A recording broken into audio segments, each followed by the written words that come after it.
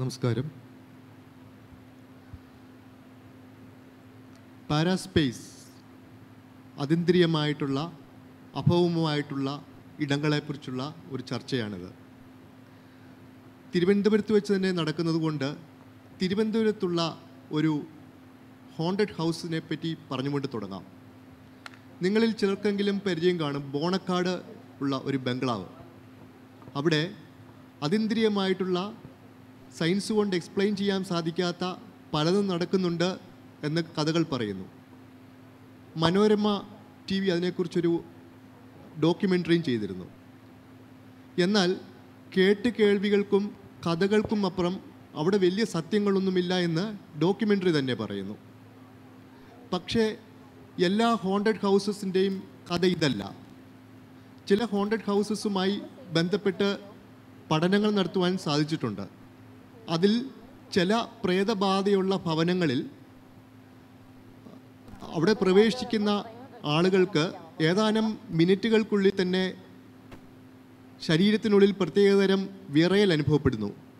വയറിനുള്ളിൽ പ്രകമ്പനം അല്പം നേരം കൂടെ കഴിയുമ്പോൾ ബോധക്ഷയം അല്ലെന്നുണ്ടെങ്കിൽ വിഭ്രാന്തി ഡെലിറിയം സ്റ്റേറ്റ് ഹലൂസിനേഷൻ മിഥ്യാദർശനങ്ങൾ ആർക്കും കേൾക്കാൻ സാധിക്കാത്ത കേൾവികൾ മുതൽ ചിലർ പ്രേതങ്ങളെയും മരിച്ചുപോയവരെയും ഒക്കെ കണ്ടതായി സാക്ഷ്യപ്പെടുത്തുന്നു. ഇതിന്റെ സത്യം എന്തെന്നറിയുവാൻ ഗോസ്റ്റ് ഹണ്ടേഴ്സ് എന്ന് പറയുന്ന ഒരു കൂട്ടർ വിദേശത്തുണ്ട്. അവർ ചില സോഫിസിക്കേറ്റഡ് എക്യുപ്മെന്റുമായിട്ടൊക്കെ പോയി അവിടെ പ്രേതമുണ്ടോ എന്ന് കണ്ടുപിടിക്കും.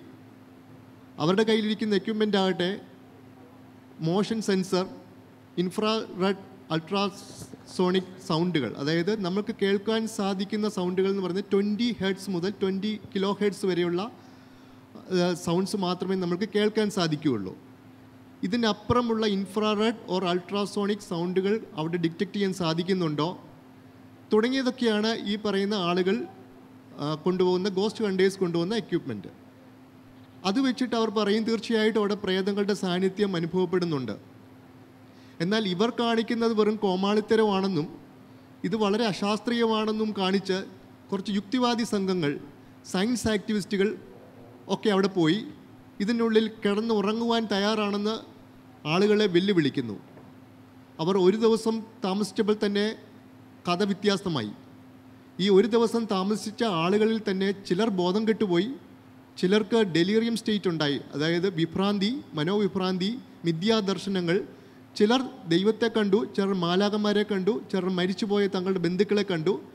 എല്ലാവരും ഒരേ സ്വരത്തിൽ പറഞ്ഞ ഒരു കാര്യമുണ്ട്. അവിടെ പ്രവേശിക്കുമ്പോൾ ഒരു പ്രത്യേകതരം ഗന്ധം അനുഭവപ്പെടുന്നു. അവിടെ പ്രവേശിക്കുമ്പോൾ മറ്റാരുടെയൊക്കെയോ സാന്നിധ്യം അനുഭവപ്പെടുന്നു.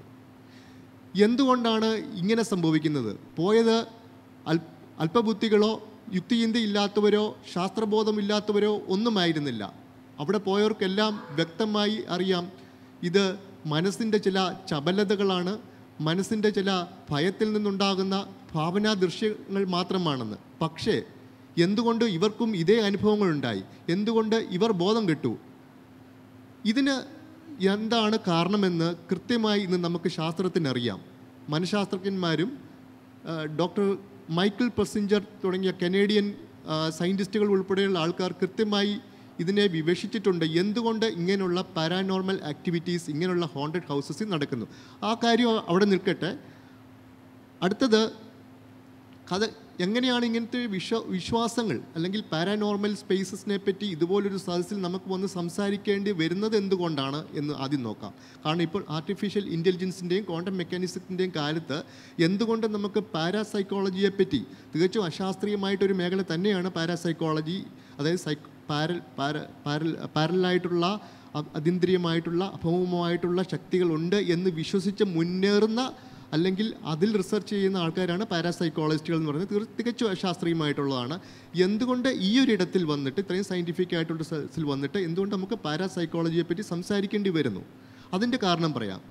കഥകൾ കേൾക്കുവാൻ താല്പര്യമില്ലാത്ത ആളുകൾ ഉണ്ടാവില്ല. നമ്മളെല്ലാം മുത്തശ്ശിക്കഥകൾ കേട്ടാണ് വളരുന്നത്. ഒരുപക്ഷെ നിങ്ങളിൽ പലരും മുത്തശ്ശിക്കഥകൾ കേട്ടിട്ടുണ്ടാവില്ല. പക്ഷേ അതിന് തത്തുല്യമായിട്ടുള്ള അതിലും നിറം പിടിപ്പിച്ച ഭാവനാസമൃദ്ധമായിട്ടുള്ള യൂട്യൂബ് വീഡിയോസ് കഥകളായി കേട്ടിട്ടുണ്ടാവാം. അതിലൂടെ എല്ലാം പടർന്ന് പന്തലിച്ച ആണ് ഈ പ്രേതകഥകൾ ചിന്തകളുടെ യാതൊരു കെട്ടുപാടുമില്ലാതെ യുക്തിയുടെ യാതൊരു വരിഞ്ഞു മുറുക്കലുമില്ലാത്ത കഥകൾ. അതിലൂടെയാണ് ഈ പ്രേതങ്ങൾ ജീവിച്ചു വരുന്നത്. ഇനി ഭയം. എങ്ങനെയാണ് കഥകൾ കഥകൾ കഥകൾ വെറും കഥകളാണോ? അതിനെ നമുക്ക് പുച്ഛിച്ചു തള്ളാൻ സാധിക്കുമോ ഒരിക്കലുമില്ല. നമ്മളുടെ സമൂഹം അതായത് മനുഷ്യൻ എന്ന് പറയുന്ന സ്പീഷ്യസ് ഹോമോസാപ്പിയൻസ് സാപ്പിയൻസ് എന്ന് പറയുന്ന സ്പീഷ്യസ് തന്നെ നിലനിൽക്കുന്നത് ബാക്കിയുള്ള ജീവിക വർഗങ്ങളെക്കാട്ടിലും ഒത്തൊരുമിച്ച് പ്രവർത്തിക്കുകയും ഈ സാമ്രാജ്യം മുഴുവൻ സ്ഥാപിക്കുകയും വെട്ടിപ്പിടിക്കുകയും ഇത്രയും ഉന്നതിയിലെത്തുകയും ചെയ്തതിന്റെ പിന്നിൽ കഥകൾക്ക് നിസ്സാരമല്ലാത്തൊരു പങ്കുണ്ട്. കാരണം ഇന്ന് കാണുന്ന നമ്മളുടെ സങ്കല്പങ്ങൾ പലതും കഥകളിൽ നിന്നുണ്ടായതാണ്. ഭർത്താവ് എന്ന സങ്കല്പം ഭാര്യ എന്ന സങ്കല്പം രാഷ്ട്രം എന്ന സങ്കല്പം കറൻസി എന്ന സങ്കല്പം എല്ലാത്തിനുപരി ചെകുത്താനെന്നും സ്വർഗമെന്നും ദൈവമെന്നുമല്ല സങ്കല്പം. ഇതെല്ലാം ഉണ്ടായത് കഥകളിലൂടെയാണ്. ഇനി എങ്ങനെയായിരിക്കാം കഥകളുണ്ടായത്? അല്ലെങ്കിൽ എങ്ങനെയായിരിക്കാം സ്വപ്നങ്ങളുണ്ട എങ്ങനെയായിരിക്കാം ഈ അതീന്ദ്രിയമായിട്ടുള്ള ശക്തികളെ പറ്റിയുള്ള ചിന്തകൾ ഉണ്ടായതെന്ന് നോക്കാം. മനുഷ്യർ മനുഷ്യർ എന്ന് പറയുന്ന ഹോമിനോയിഡ് വർഗത്തിൽപ്പെട്ട ഹോമോസാപ്പിയൻ സാപ്പിയൻസ് ഇന്നത്തെ വർ ഇന്നത്തെ രൂപത്തിലെത്തിയിട്ട് ഏതാണ്ട് രണ്ട് ലക്ഷം മുതൽ മൂന്ന് ലക്ഷം വർഷങ്ങൾ ആയിട്ടുള്ളൂ. ഇതിൽ തന്നെ ഏതാണ്ട് തൊണ്ണൂറ്റി എട്ട് ശതമാനം സമയവും മനുഷ്യൻ കാടിനുള്ളിൽ വനത്തിനുള്ളിൽ ഗുഹകളിലുള്ളിൽ ഹണ്ടർ ഗാദറേഴ്സായിട്ട് നായാടിയായിട്ട് ഇര പിടിച്ച് ജീവിച്ചിരുന്നു. അതായത് ഒരു പതിനായിരം കൊല്ലം മാത്രമേ ആയിട്ടുള്ളൂ മനുഷ്യൻ ഗുഹ വിട്ട് കാടുകൾ വിട്ട് പുറത്തേക്ക് ഇറങ്ങിയിട്ട്. ഇതിൽ സംസ്കാരം അല്ലെങ്കിൽ സിവിലൈസേഷൻ എന്ന് പറഞ്ഞത് തുടങ്ങിയിട്ട് ഏതാണ്ട് ആറായിരം കൊല്ലം. അതായത് ഈജിപ്ഷ്യൻ സിവിലി സിവിലൈസേഷനോ അല്ലെങ്കിൽ സുമേറിയൻ സിവിലൈസേഷനോ തുടങ്ങിയ സിവിലൈസേഷൻ ഉണ്ടായിട്ട് ഏറിപ്പോയാൽ ഒരു ആറായിരം കൊല്ലം മാത്രമേ ഉണ്ടായിട്ടുള്ളൂ.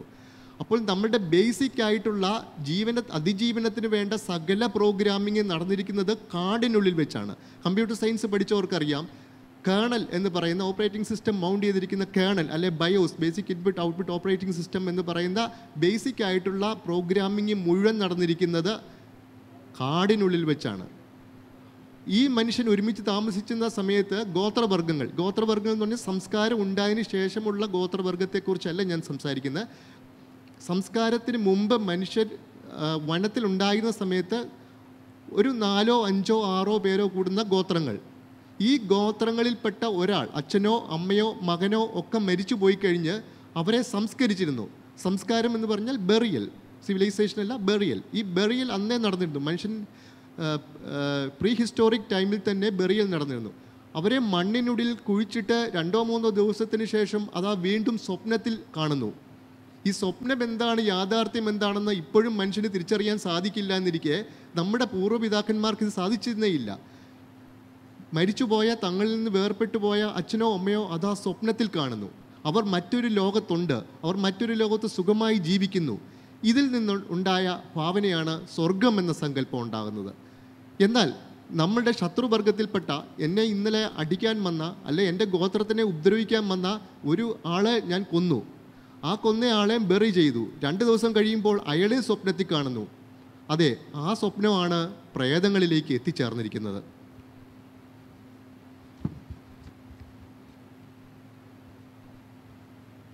ഇനി ഭയം എന്ന വികാരം.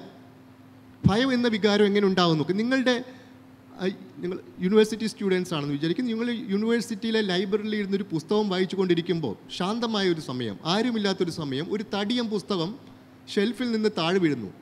നിങ്ങൾ ചാടി എഴുന്നേറ്റ് നോക്കും. എന്തുകൊണ്ടാണ്? പുസ്തകം വീണതാണ് എന്നല്ല നിങ്ങളുടെ മസ്തിഷ്കം കരുതുന്നത്. ആ സമയം നിങ്ങളുടെ കൺട്രോൾ അമിഗ്ദല എന്ന് പറയുന്ന ബ്രെയിന്റെ പാർട്ടിലേക്ക് പോകുന്നു. നിങ്ങൾ വിചാരിക്കുന്നത് നിങ്ങളുടെ പ്രോഗ്രാമിംഗ് വിചാരിക്കുന്നത് അതൊരു സിംഹം ചാടിയതാണ് തന്നെ തന്നെയാണ്.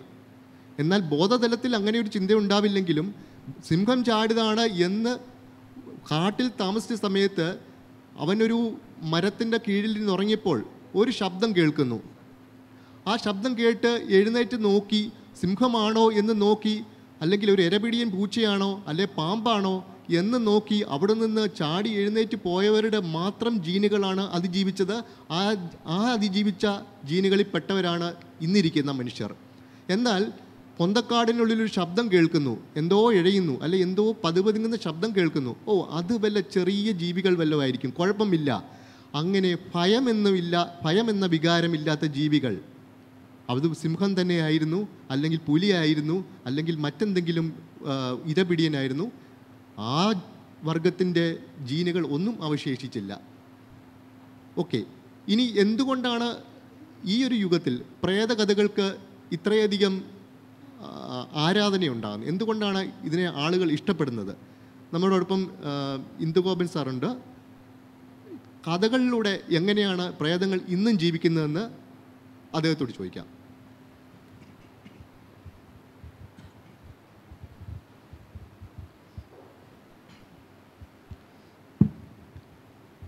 ഞാൻ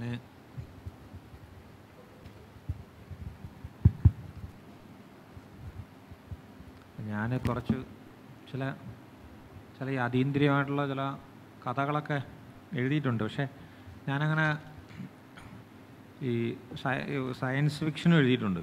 പക്ഷെ ഞാൻ ഈ പ്രേത കഥകൾ എഴുതിയത് ഒന്നും പ്രേതമുണ്ടെന്ന് വിശ്വസിച്ചുകൊണ്ടല്ല.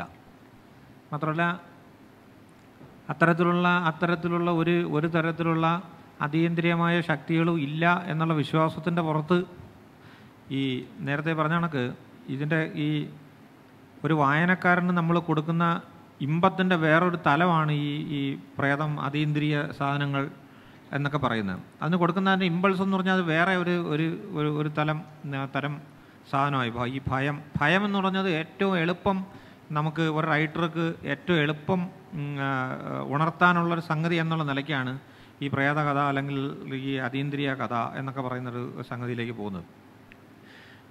നിത്യജീവിതത്തിൽ അങ്ങനൊന്നും ഇല്ല എന്നുള്ളത് എന്റെ അനുഭവത്തിൽ ബാക്കിയുള്ള ആൾക്കാർക്കത് അത് നിഷേധിക്കാം. ഞാൻ ഞാൻ ഈ ഇത്തരത്തിലുള്ള കുറേ സാധനങ്ങളുടെ പുറക്ക കുറേ കാലം സഞ്ചരിച്ചിട്ടുള്ള ഒരാളാണ് അപ്പം ഞാൻ ഈ രാത്രിയിൽ പ്രേത വീടുകളിൽ ഒറ്റയ്ക്ക് കിടക്കാവുന്ന എന്റെ ഒരു എന്റെ ഒരു പത്രാധിപർ ചോദിച്ചിട്ട് ഞാൻ ഞാൻ ഒരു മൂന്നാൽ വർഷം മുമ്പുള്ള മനോരമയുടെ വാർഷിക പതിപ്പിൽ സുദീർഘമായ ഒരു ഒരു ഒരു ഒരു- എണ്ണം എഴുതി. അപ്പോൾ അതിനകത്ത് മൂന്ന് ഒരു ഈ സൂര്യ ടി വി ഇതിന്റെ അത്തൊക്കെ നേരത്തെ ഈ പറഞ്ഞ ബോണക്കാട് ഹൗസ് എന്നൊക്കെ പറഞ്ഞ കണക്കുള്ള ഭയങ്കര ഹോണ്ടഡ് ആയിട്ടുള്ള ഒരു ഹൗസ് ഇന്ന സ്ഥലത്തുണ്ട്. അതിന്റെ അകത്തൊരു ഒരു കട്ടിലുണ്ട്. അതിൽ ആര് കിടന്ന് കിടന്നു കഴിഞ്ഞാൽ അയാൾ എടുത്ത് എറിയപ്പെടും എന്നൊക്കെ പറഞ്ഞിട്ടുള്ള ഒരു ഒരു വീട്. നമ്മുടെ തെക്കൻ തിരുവിതാംകൂറിൽ പത്മനാഭപുരം കൊട്ടാരത്തിനടുത്ത് മയ്യക്കോട്ട എന്ന് പറഞ്ഞ് വേറൊരു ഒരു കോട്ടയുണ്ട്. ഈ ഡച്ചുകാരെയും ഒക്കെ കൊല്ലാനായി കൊന്നു കഴിഞ്ഞ് അവരെ ദഹിപ്പിക്കാനായിട്ട് മാർത്താണ്ഡോർമ്മ ഉണ്ടാക്കിയത്. അപ്പോൾ അതുവഴി നിന്നുപോയി ഇത്. അപ്പോൾ അതിന്റെ പരിസരം അന്ന് പകൽ പോലും അതിന്റെ ആൾക്കാർ അതിന്റെ പരിസരത്ത് പോലും വരത്തില്ല. ഒരു ഇരട്ട ആത്മഹത്യ നടന്ന ഒരു ഒരു വീട് തമിഴ്നാട്ടിലൊരു വീട്. അപ്പം അത് അങ്ങനെ കാണാൻ അങ്ങനെ കരുതി അവിടെ പോകാനുള്ള റീസൺ എന്ന് പറഞ്ഞാൽ കേരളത്തിൽ ഈ ഹോണ്ടഡ് ഹൗസ് എല്ലാം പെട്ടെന്ന് അപ്രത്യക്ഷമായി ഈ ആത്മഹത്യ നടന്നത്. അത് എന്താണെന്ന് വെച്ചാൽ ആദ്യം ഈ കേരളത്തിൽ ഈ ഇത് കണക്കുള്ള ആത്മഹത്യകൾ ഇതൊക്കെ നടന്ന ഹോണ്ടഡ് ഹൗസുകൾ ആയി മാറാതിരിക്കാനായിട്ട് നമ്മുടെ ബുദ്ധിമാന്മാരായ മലയാളികൾ ചെയ്ത ഏറ്റവും വലിയ മാർഗം എന്ന് പറയുന്നത് അത് ചെറിയ വിലയ്ക്ക് വിറ്റിട്ട് ആദ്യം തന്നെ ഒരു ഹോസ്റ്റലിന് അങ്ങ് കൊടുക്കുക എന്നുള്ളൊരു പരിപാടിയാണ് എല്ലാവരും ചെയ്തുകൊണ്ടിരുന്നത്. അപ്പോൾ ഇത് ഇതിന്റെ അകത്ത് പറയുന്നത് നമ്മൾ ഈ ഭയം എന്ന് പറഞ്ഞൊരു വികാരത്തിന് ഉണർത്തിയെടുക്കാൻ ഈ റൈറ്റേഴ്സ് ചെയ്യുന്ന കണക്കുള്ള അതേ പ്രക്രിയ തന്നെ നിത്യജീവിതത്തിൽ മറ്റ് പല മനുഷ്യരും ഇത് ചെയ്യും. ഞാൻ പത്തിരുപത്തഞ്ച് വർ- വർഷമായിട്ട് രാത്രികളിൽ രാത്രികളിൽ മാത്രം നൈറ്റ് ഡ്യൂട്ടികൾ കൂടുതൽ എടുക്കാൻ താല്പര്യപ്പെടുകയും അത് അത് കിട്ടിയാൽ ആ, താല്പര്യത്തോടെ എടുക്കുകയും ഈ രണ്ട് മണി മൂന്ന് മണി സമയത്തെല്ലാം ഈ കേരളത്തിന്റെ പല പല ജില്ലകളിൽ ജോലി ചെയ്ത് പല പല സ്ഥലങ്ങളിൽ യാത്ര ചെയ്ത് ഒക്കെ പോയിട്ട് ഒരു സ്ഥലത്ത് ഞാൻ ഈ സാധനം കണ്ടിട്ടില്ല. ഞാൻ ഈ പർട്ടിക്കുലർ വീടെന്ന് പറയുന്ന സ്ഥലത്ത് ഏതാ ഈ ഈ കണ്ണൂരിലുള്ള വളരെ അതിപ്രശസ്തനായ തിരുവനന്തപുരത്തുള്ള ഒരു ഒരു അദ്ദേഹത്തിന്റെ വൈഫിന്റെ കുടുംബ വീടാണ് അപ്പോൾ അപ്പോൾ ഇത് എന്നെ അവിടെ കൊണ്ടുവന്ന് ആക്കിയ ആൾക്ക് തന്നെ ഭയങ്കര ഭയമാണ്. അയാൾ വളരെ നേരത്തെ തന്നെ അയാൾ സ്ഥലം വിട്ട് പോകാനായിട്ട് പോവുക. അപ്പം അപ്പം ഞാനവിടെ ചെന്നിരുന്നപ്പോഴത്തേക്ക് പക്ഷെ നമ്മൾ നേരത്തെ പറഞ്ഞ കണക്ക് ഭയം എന്ന് പറഞ്ഞൊരു സംഗതിയെ നമ്മൾ നമ്മൾ ഇത് ചെയ്യണം. നമ്മൾ നമ്മൾ എത്ര എത്ര കണ്ട് നമുക്ക് ഭയമുണ്ട് അതിൽ എത്ര കണ്ട് അത് പുറത്തു വരും എന്നുള്ള ഒരു ഒരു കൺസെപ്റ്റ് അപ്പം ഞാൻ ഞാൻ ഞാൻ ഞാൻ നേരത്തെ ഡോക്ടർ റോബിന്റെ അടുത്തൊക്കെ ഞാൻ പറഞ്ഞു എനിക്കത് അങ്ങനെ ഒരു അത് ആൾക്കും വ്യത്യാസപ്പെടും. ഞാനൊരു വലിയ മഹത്തരമായ കാര്യം ചെയ്യുന്നില്ല അത് എന്റെ പ്രത്യേകിച്ച് ഈ കുട്ടിക്കാലവുമായിട്ട് ബന്ധപ്പെട്ട ഒരു സാധനം. ഞാൻ ഞാൻ ഈ പറഞ്ഞ കണക്ക് ഒരു വലിയ അപാരമായൊരു വയലിന്റെ നടുക്കുള്ളൊരു ചെറിയ വീട്ടിൽ ഒരു ചെറിയ അന്ന് കടന്ന് കറണ്ടൊന്നും വന്നിട്ടില്ല. ഒരു ചെറിയ ചിമ്മിനി വട്ടത്തിന്റെ ഇത് മാത്രം പിന്നെ അന്ന് ജീവിച്ച ഒരു ബാല്യം കുറേ കാലം ജീവിച്ചു ആറാം ക്ലാസ് പഠിക്കുമ്പോഴാണ് കറണ്ട് വരുന്നത് അപ്പോൾ നമ്മൾ ഈ പറഞ്ഞ കണക്കുള്ള ഇപ്പം അപ്പാരിഷൻ അല്ലെങ്കിൽ നിഴൽ രൂപങ്ങൾ എന്നൊക്കെ പറയുന്നതിന്റെ പല പല രൂപങ്ങൾ കാണുന്നുണ്ട്. ഈ വാഴയില ഇങ്ങനെ ഇത് ചെയ്ത് കഴിഞ്ഞാൽ അതിന്റെ പുറകെ ഒരു വളരെ സിൽവറി ആയിട്ടുള്ളൊരു സംഗതിയാണ്. നിലാവത്ത് ഇത് അടിച്ചു കഴിഞ്ഞാൽ ഇത് ആൾ വരുന്ന കണക്കോ അല്ലെങ്കിൽ വളരെ പ്രകാശം പ്രതിഫലിപ്പിക്കുകയൊക്കെ ചെയ്യും. നമ്മളെല്ലാം ഇതിന്റെ ഇതെന്താ സംഗതി എന്നുള്ള കാര്യം വേറെ നിവർത്തിയില്ല. ഭയം എന്ന് പറഞ്ഞൊരു സ്ഥാനത്ത് നിന്ന് ഒളിച്ചോടാൻ വേറെ നിവർത്തിയില്ല. ഇങ്ങനെ ഉള്ള അതിവിപുലമായൊരു പ്രപഞ്ചത്തിന്റെ നടുക്ക് ഇരിക്കുമ്പോൾ നിവർത്തിയില്ല. അപ്പോൾ അതെന്താന്ന് പോയി അന്വേഷിക്കാനേ പറ്റത്തുള്ളൂ. അപ്പം പണ്ട് ഈ ചില ചില കഥകളുണ്ട്. ഒരു ഒരു ഭയങ്കര ഹോണ്ടഡ് ഹൗസ് രാത്രി ആയിക്കഴിഞ്ഞാൽ ഇപ്പം പറഞ്ഞില്ലേ പല പല അനുഭവങ്ങൾ ഉണ്ടായിട്ടുണ്ടെന്ന് ഇദ്ദേഹം പറഞ്ഞ്. ഒരു ഒരു ഒരനുഭവത്തിന്റെ കഥ ഞാൻ പറഞ്ഞുതരാം. ഒരു ഒരു വീട്. ഭയങ്കര ഹോണ്ടഡ് ഹൗസാണെന്നാണ് പറഞ്ഞത് പല ആൾക്കാരും വന്ന് താമസിക്കുന്ന രാത്രി ആകുമ്പോഴത്തേക്ക് ചങ്ങലകളുടെ കിലുക്കം ഇങ്ങനെ കേൾക്കുക. ചങ്ങല കിലുക്കം എന്ന് വെച്ചാൽ ഒരിടത്ത് ഇവിടെ കിടന്നാലും ചങ്ങലകൾ ഇങ്ങനെ കിടക്കും. അതിവേഗത്തിലാണ് അതിന്റെ ഒരു ഒരു ഒരു സഞ്ചാരപാത എന്ന് പറയുന്നത്. അങ്ങനെ പല തവണ ഇത് ചെയ്ത് ഒരാൾ അവസാനം രണ്ടും കൽപ്പിച്ച് പുള്ളി അകത്തുനിന്ന് പൂട്ടിയിട്ട് പുള്ളി വെളിയിൽ തന്നെ നിന്നു. വെളിയിൽ തന്നെ നിന്നപ്പം അതിൽ സംഗതി വെച്ചാൽ ഒരു പട്ടിയുടെ പുറക്ക് ഈ ചങ്ങല വെച്ച് കെട്ടിയിട്ട് ഇതിനെ അഴിച്ച് വിട്ടിരിക്കുക. അപ്പോൾ ഇത് ഇതിന്റെ സ്ഥലത്ത് അവിടെ അവിടെയൊക്കെ ഈ ഇറച്ചിയുടെ കഷ്ണമൊക്കെ ഇട്ടോടും ഇത് അങ്ങോട്ട് ഓടി ഇവിടെ ഓടി ഈ ഈ ഭാഗത്തേക്ക് ഓടിയത്. അപ്പോൾ ഇത് കുറഞ്ഞ വിലയ്ക്ക് വിൽക്കാനായിട്ട് അല്ലെങ്കിൽ ഇത് വേറെ ആരും വന്ന് വാങ്ങിക്കാതിരിക്കാനുള്ളൊരു തന്ത്രമായത്. അപ്പോൾ ഇതിന്റെ പുറകെ പോവുക ഇത് കണ്ടെത്താതിരുന്നു വന്നാൽ ഈ വരുന്നവരെല്ലാം ഈ പറഞ്ഞ കണക്കുള്ള അതിന്റെ അകത്ത് മന മനഃശാസ്ത്രജ്ഞന്മാർ കാണും എത്തീസ്റ്റുകൾ കാണും മറ്റൊരു മറിച്ചവർ കാണും. ബേസിക്കലി നമ്മളുടെ ഭയം എന്ന് പറഞ്ഞൊരു എലിമെന്റ് എന്നുള്ള ഒരു. അമേരിക്കയിൽ എന്റെ എന്റെ എന്റെ ഒരു കൂട്ടുകാരൻ ഇങ്ങനെ ഒരു ദിവസം രാത്രിയിൽ പിന്നെ ഒരു ഒരു മണിയായപ്പോഴത്തേക്ക് വിളിച്ചിട്ട് പറഞ്ഞു അപ്പം ഞാൻ ഭയങ്കര ഒരു കാഴ്ച ഉണ്ട് എന്ന് വെച്ചാൽ പകുതി ഞാനിങ്ങനെ കാർ ഓടിച്ച് വരികയായിരുന്നു ഇങ്ങനെ. പകുതി ശരീരമുള്ള മാത്രമുള്ള ഒരു മനുഷ്യൻ ഇങ്ങനെ പോവുക അയാളുടെ അയാളുടെ അയാളെന്ന് വെച്ചാൽ നമ്മൾ ഈ കാണുന്ന കണക്കല്ല അതിവേഗത്തിലാണ് ഇങ്ങനെ പോകുന്നത്. ഈ എന്റെ കാറിന് ഇയാൾ ഓവർടേക്ക് ചെയ്ത് പോയ ഒരു ഒരു ഒരു കാഴ്ച കണ്ട്. അപ്പം ഞാൻ പറഞ്ഞു നീ ഒരു കാര്യം ചെയ്യും. നീ ഇത് കൊണ്ട് നടന്നതിന്റെ ജീവിതകാലം മൊത്തം ഈ ഈ ഇതുമായിട്ട് നടക്കും. നീ ഇതേ സമയത്ത് ഇത് പോയിട്ട് രണ്ട് മൂന്ന് ദിവസം നീ അതിലെ ഒന്ന് പോയി നോക്ക് എന്നൊക്കെ പറഞ്ഞു. അത് സൂക്ഷിച്ചത് കണക്ക് രണ്ടാമത്തെ മൂന്നാമത്തെ ദിവസം ഒരാൾ മറ്റേ പിന്നെ ഈ റോളറുള്ള ഇതിന്റെ അകത്ത് ഇട്ടിട്ട് ചെരുപ്പിട്ടിട്ട് അതിവേഗത്തിൽ ഇയാൾ അത് ഇയാൾ അതിന്റെ ഒരു അവിടുത്തെ ഒരു ആം, പ്രദേശത്തുള്ള വലിയ ചാമ്പ്യൻ അയാൾ അവിടെ നടക്കുക അപ്പം ഈ മഞ്ഞ് ഭയങ്കര മഞ്ഞ് ഇങ്ങനെ നടക്കുക അപ്പം ഈ കാഴ്ചയുടെ ഇത് വെച്ചിട്ട് ഇത്രയും ഭാഗം കാണാൻ പറ്റുന്നില്ലായിരുന്നു ഇയാൾ അപ്പോൾ അത് നമ്മൾ ആലോചിക്കണമെന്ന് വെച്ചാൽ ഈ വേഗം അതിന് നമ്മുടെ കാഴ്ചയുടെ ചില വിധ ഞാനന്ന് ആ ഹോണ്ടഡ് ഹൗസിൽ പോയപ്പോൾ ഞാൻ ആദ്യം ചൊല്ലുന്ന സാധനം എന്തൊക്കെയാണ് എന്നെ ഭയപ്പെടുത്താവുന്ന? എന്തെല്ലാം കാരണങ്ങൾ എന്തൊക്കെയാണെന്നാണ് നോക്കി. ഞാൻ ഒന്ന് ഈ പറഞ്ഞതിനൊക്കെയുള്ള നമ്മൾ തന്നെ ഉണ്ടാക്കുന്നതായിട്ടുള്ള ഉള്ള ഇപ്പം ഞാൻ ഒരു ഈ വളരെ യാദർശ്യവും രസകരവും എനിക്ക് തോന്നി. ഞാൻ അവിടെ നിന്ന് തന്നെ ചിരിച്ചു പോയി എന്ന് വെച്ചാൽ നമ്മൾ ഈ മണിച്ചിത്രത്താഴിലെ കണ്ട പോലുള്ള പഴയ വീടാണ് പത്ത് നൂറ്റമ്പത്. അതേ തരത്തിലുള്ള ഒരു പിന്നെ കസേര അവിടെ ഉണ്ടായിരുന്നു. നമ്മൾ എഴുന്നേറ്റ് കഴിഞ്ഞാൽ ഈ പറഞ്ഞ കണക്കുള്ള ഒരു ഒരു രണ്ട് മൂന്ന് മിനിറ്റ് കഴിഞ്ഞിട്ടേ ഇതിന്റെ ആട്ടം നിൽക്കത്തുള്ള തരത്തിലുള്ള ഒരു ഒരു ഇതോടുണ്ട് പിന്നെ നമ്മൾ കണ്ണാടി. കണ്ണ് നമ്മളെയാണ് നമ്മൾ ഏറ്റവും കൂടുതൽ ഭയക്കുന്ന ഒരു സാധനം. കണ്ണാടി പ്രതിബിംബം. സുഷിരങ്ങൾ കാണും. സുഷിരങ്ങൾ. എവിടെ നിന്നെങ്കിലും സുഷിരങ്ങളിൽ കൂടെ രാത്രികളിലുള്ള ഉള്ള ഈ കാറ്റിന്റെയൊക്കെ പ്രത്യേക സഞ്ചാര പദം എന്നൊക്കെ പറഞ്ഞ പല ഇതാ. ഇതൊന്നും ഇതൊന്നും അള അളന്നിട്ടോ പഠിച്ചിട്ടോ ഒന്നുമല്ല. നമ്മൾ ഈ സയന്റിഫിക് ആയിട്ടുള്ള പല ആൾക്കാരും ചെന്നിട്ട് അവിടെ ഈ എല്ലാ ആൾക്കാർക്കും ഈ അനുഭവം ഉണ്ടായി. എന്ന് പറഞ്ഞാൽ അത് ചില ചില പഴയ വീടുകളിലൊക്കെ എന്ന് വെച്ചാൽ ചില സുഷിരം ഉണ്ടാവും. അവർ കൃത്യമായിട്ട് അളന്നു വെച്ച് നല്ല തച്ചന്മാർ അളന്നു വെച്ച് അതിന്റെ അകത്തൂടെ തന്നെ ആയിരിക്കും ആ കാറ്റിന്റെ പാത. അത് വലിയ ശൂളം പോലെ കേൾക്കാം. പിന്നെ പലയിടത്തും ആൾക്കാർ അപാരമായ ശബ്ദങ്ങൾ കേൾക്കുന്നെന്ന് പറഞ്ഞ സാധനമെല്ലാം തട്ടിമ്പുറത്ത് മരപ്പട്ടികളായിരിക്കും പല പല പല കാലങ്ങളിലും. അതിനകത്ത് ഭയം നമ്മളെ അടിമപ്പെടുത്തി ഭയത്തിന് നമ്മൾ അടിമയായാലും ഭയപ്പെട്ട് കഴിഞ്ഞാൽ പിന്നെ യാതൊരു തരത്തിലുള്ള ഉള്ള ഇതിൽ എനിക്ക് ഞാൻ ഞാൻ അപാരമായ ഭയമുള്ള ഒരു കക്ഷിയാണ്. ഞാൻ ഈ സ്ഥലങ്ങളിലെല്ലാം പോയപ്പോൾ എന്റെ ഭയം എന്തെന്ന് പറഞ്ഞാൽ മനുഷ്യൻ എന്ന് പറഞ്ഞ സാധന ജന്തുവിനാണ് ഏറ്റവും വലിയ ഭയം. ഇവിടെ ഈ ഈ സാമൂഹ്യ വിരുദ്ധന്മാരെല്ലാം ഇവിടെ കയറി. എന്നെ രസകരമായ സ്ഥലം ഞാൻ മൂന്നാമത്തെ ഈ വീടുകൾ വീട്ടിൽ ചെന്നപ്പോഴത്തേക്ക് ഈ രണ്ടുപേർ ഒരു ഒരു ഭർത്താവ് മരിച്ച് ഒരു ഒരു ഭാര്യയും ഭർത്താവുള്ള സൗന്ദര്യ പിണക്കമായിരുന്നു എന്നിട്ട് ഭാര്യ കിണറ്റിന്റെ പുറക്കെ ചെന്ന് നിന്നിട്ട് ഒരു കല്ലെടുത്ത് പുറത്ത് ഇതിന്റെ തൊട്ടിട്ട് ഭർത്താവ് ഭയങ്കര ആഴമുള്ള കിണർ ഭർത്താവ് എടുത്ത് ചാടി. ഇത് ചെയ്തിട്ട് ഭാര്യയും പുറക്കെ ഇത് ചെയ്ത് പിന്നെ ഇത് ചെയ്ത്. അപ്പം അങ്ങനെ തരത്തിലുള്ളൊരു വീടായിരുന്നു എന്റെ അപ്പം ഞാനെന്ത് ചെയ്ത്? ഭയങ്കര ബോറടിക്കാൻ ബോറടി. അപ്പം ഞാൻ ഒരു ഒരു സാധനം ചെയ്തിട്ടുണ്ടെന്ന് വെച്ചാൽ ഒരു മൂന്നാൽ കിലോമീറ്റർ അപ്പുറത്തേക്ക് എന്റെ ഒരു രണ്ട് സുഹൃത്തുക്കളെ ഞാൻ കാറിലൂടെ എഴുതിയിട്ടുണ്ടായിരുന്നു ഈ ഒരു ഭയം ഭയങ്കരമായിട്ടുണ്ട്. മനുഷ്യർ. അപ്പോൾ ഒരു രാത്രി ഒരു ഒരു മണി ഇതൊക്കെ ആയപ്പോഴത്തേക്ക് രണ്ട് മൂന്ന് കക്ഷികൾ ഈ പറഞ്ഞ കണക്ക് ഈ ഈ മതൽ ചാടി ഇങ്ങനെ വരിക. അപ്പോഴത്തേക്ക് ഞാൻ അവിടെ അപ്പോൾ ഞാൻ എന്ത് ചെയ്യുന്ന ഭയങ്കര സമയം പോകുന്നില്ല. അപ്പോൾ ഞാൻ ലാപ്ടോപ്പ് തുറന്നിട്ട് ചില ജോലികളൊക്കെ ഇരുന്ന് ചെയ്തുകൊണ്ടിരിക്കുകയാണ്. പെട്ടെന്ന് അവിടെ ഇരുന്ന അവന്മാർ അവിടെ നോക്കി ഇത് കാണിച്ചിട്ട് ഈ വെളിച്ചം കണ്ടിട്ട് ഇതിന്റെ ഒരു നീല വെളിച്ചമായിരിക്കും പുറകെയുള്ള നോക്ക് നോക്കുന്നത്. യുവമാർ ആകപ്പാട് ഇത് ചെയ്തിട്ട് ഒറ്റ ഓട്ടം. അപ്പോൾ അവിടെ നമ്മളായി പ്രേതം.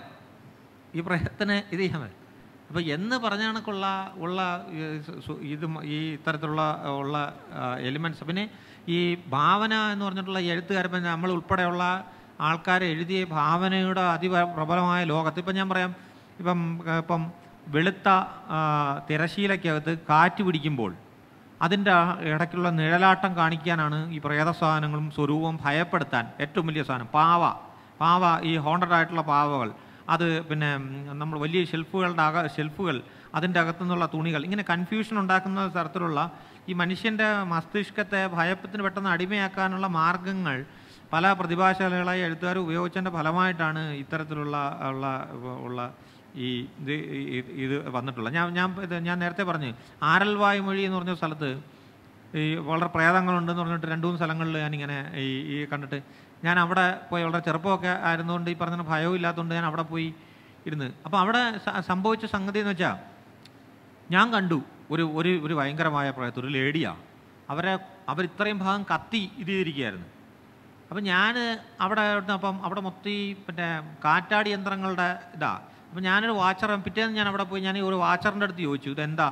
സംഗതി എന്താ? എന്ന് ചോദിച്ചപ്പോൾ അയാൾ പറഞ്ഞു ഒരു രണ്ട് മൂന്ന് കിലോമീറ്റർ അപ്പുറം ഒരു ഒരു സ്വാമിയുണ്ട്. അയാൾ ഈ ഈ സ്ത്രീകളുടെ പ്രത്യേക സ്ത്രീകൾ ഈ പറഞ്ഞ കണക്ക് അവിടെയൊക്കെ പിന്നെ ഈ പുരുഷന്മാരെ ഒഴിച്ച് കത്തിക്കുന്നതും സ്വയം കത്തിക്കുന്നതും പ്രശ്നങ്ങളൊക്കെ ആയി കത്തി വെന്ത് പോകാതെ പല ഇതായിട്ടുള്ള ഇവരെ ചികിത്സിക്കുന്ന ഒരു ഒരു ഒരു സ്വാമി ആ ഭാഗത്തുണ്ട്.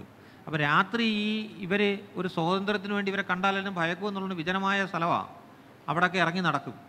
അപ്പോൾ ഇതൊക്കെ പ്രേതമാണെന്ന് വെച്ചിട്ട് പിന്നെ ആ പ്രദേശത്തോട് പോലും പിന്നെ വേറൊരാളും കൂടെ ഒരു ഉദാഹരണം കൂടെ പറഞ്ഞിട്ട് ഞാൻ ചേച്ചിക്ക് ഇതേ ഉള്ളൂ.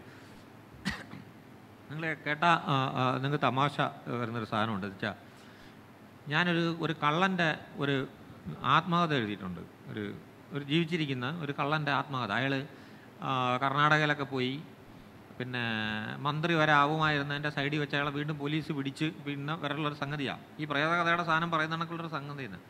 അപ്പോൾ ഇയാൾ ഇതിന്റെ അകത്ത് ഒരു കാര്യം പറഞ്ഞിട്ടുണ്ട്. എന്നുവെച്ചാൽ ഇവർ ഇദ്ദേഹം ഒരു സാമൂഹ്യ വിരുദ്ധനാണല്ലോ സ്വയം. ഇപ്പം കള്ളൻ അപ്പോൾ ഇവർ പിന്നെ വേറെ പിന്നെ കുറേ വളരെ വിജലമായ ഒരു ഒരു ഒരു പിന്നെ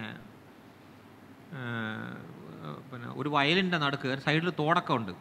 അപ്പം കലുങ്കുകളും അതുമൊക്കെ ഉണ്ട്. അപ്പോൾ അതിന്റെ സൈഡിൽ ഇവർ രാത്രി വേറെ സ്ഥലങ്ങളിലൊക്കെ പോയി കോഴികളെയൊക്കെ പിടിച്ചുകൊണ്ട് വന്ന് പിന്നെ കൊന്ന് കറി വയ്ക്കുകയും വേറെ പിന്നെ ഇപ്പോൾ സ്ത്രീകളെയൊക്കെ കൊണ്ടുവരികയും ഒക്കെ ചെയ്യുന്ന ഒരു ഇവരുടെ ഒരു ഇതിന്. അപ്പോഴത്തേക്ക് സ്വാഭാവികമായിട്ട് അതിന്റെ സൈഡിൽ കൂടെ ഇപ്പുറത്തെ സൈഡിൽ കൂടെ വേറൊരു വരമ്പ് വരികയും രാത്രിയിലൊക്കെ ഒരു സഞ്ചാരം ഉണ്ടാവുകയെന്നു ഇവർക്ക് തോന്നി. അപ്പോൾ ഇത് ഇനി ഇവിടെ ഒരു സഞ്ചാരം ഉണ്ടാവാൻ പാടില്ല എന്ന് ഇവർ തീരുമാനിക്കുക.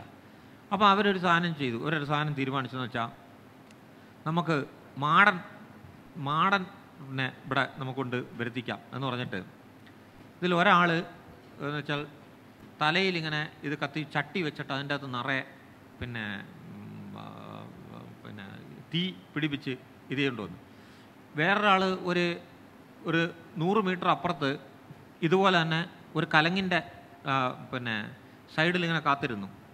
വേറൊരാൾ അതിന്റെ തൊട്ട് മുകളിൽ ചെറിയ ഒരു കുന്നു പോലുള്ള ഒരു ഒരു ചെറിയ ഒരു പിന്നെ ഒരു ഒരു കെട്ടുണ്ടാവും. ഇതാണ് ഏതോ ഒരു ഒരു പിന്നെ കൽക്കട്ട് പോലുള്ള അതിന്റെ സൈഡിലിരുന്നു. അപ്പം ഈ ആൾക്കാർ ഒരു അഞ്ചാറ് പേര് അതിലെ കൂടെ ഉത്സവം കണ്ടിട്ടോ ഏതെങ്കിലും സ്ഥാനത്ത് അതിലെ പോയപ്പോഴത്തേക്ക് ഇയാൾ ഇവർ ആദ്യത്തെ ആൾ അവിടുന്ന് എഴുന്നേറ്റ്. അവിടുന്ന് എഴുന്നേറ്റ് മുമ്പോട്ട് നടന്നു. കുറച്ച് കഴിഞ്ഞിട്ട് ഇയാൾ നേരെ അങ്ങ് താന്നു. ഈ പിന്നെ കലങ്ങിലേക്ക് അങ്ങ് താന്നു. ഈ ഇപ്പുറത്തെ കലങ്ങിന്റെ സൈഡിലേക്ക്. അപ്പോഴത്തേക്ക് അപ്പുറത്തുനിന്ന് മറ്റേ ആൾ പിന്നെ എഴുന്നേറ്റ് ഈ അത് വേറൊരു പൊക്കത്തിലാണ് മൂന്നാമത്തെ സ്ഥലത്ത് നിന്ന് വെച്ചാൽ നൂറ്റി നൂറ് മീറ്റർ അപ്പുറത്ത് നിന്ന് മറ്റേ ആൾ ഈ വലിയ പൊക്കമുള്ള സ്ഥലത്ത് നിന്ന് എഴുന്നേറ്റ് ചെയ്തു അപ്പം പിറ്റേന്ന് അവിടെ എല്ലാം വലിയ ഇതായി. പിന്നെ അവിടെ മാടനൊക്കെ ഉണ്ട്. അതിന് മാടൻ ചുവടം എന്നാണ് പറയുന്നത്. കാരണം ഒരു മാടന്റെ ഒരു ചുവടം എന്ന് പറയുന്നത് പിന്നെ ഒരു ചുവടിന് അടുത്ത നൂറ് ചുവട് കഴിഞ്ഞ് അടുത്ത അത് ആകാശത്തേക്ക് ഇങ്ങനെ പറന്നു പോയി. ഇതിനും സാക്ഷികളുണ്ട്. പത്ത് പന്ത്രണ്ട് പേര് കണ്ടതാണ് അതിനത് നിങ്ങൾ പറഞ്ഞാൽ വിശ്വസിക്കത്തില്ല. അതിന് ശേഷം അവിടെ ഒരു മാടൻ കോവിൽ ഉണ്ടാവുകയും അവിടെ ഒരു ഞാനൊക്കെ അവിടെ പിന്നെ ഉത്സവത്തിന് അവിടെ പോയിട്ടുണ്ട്.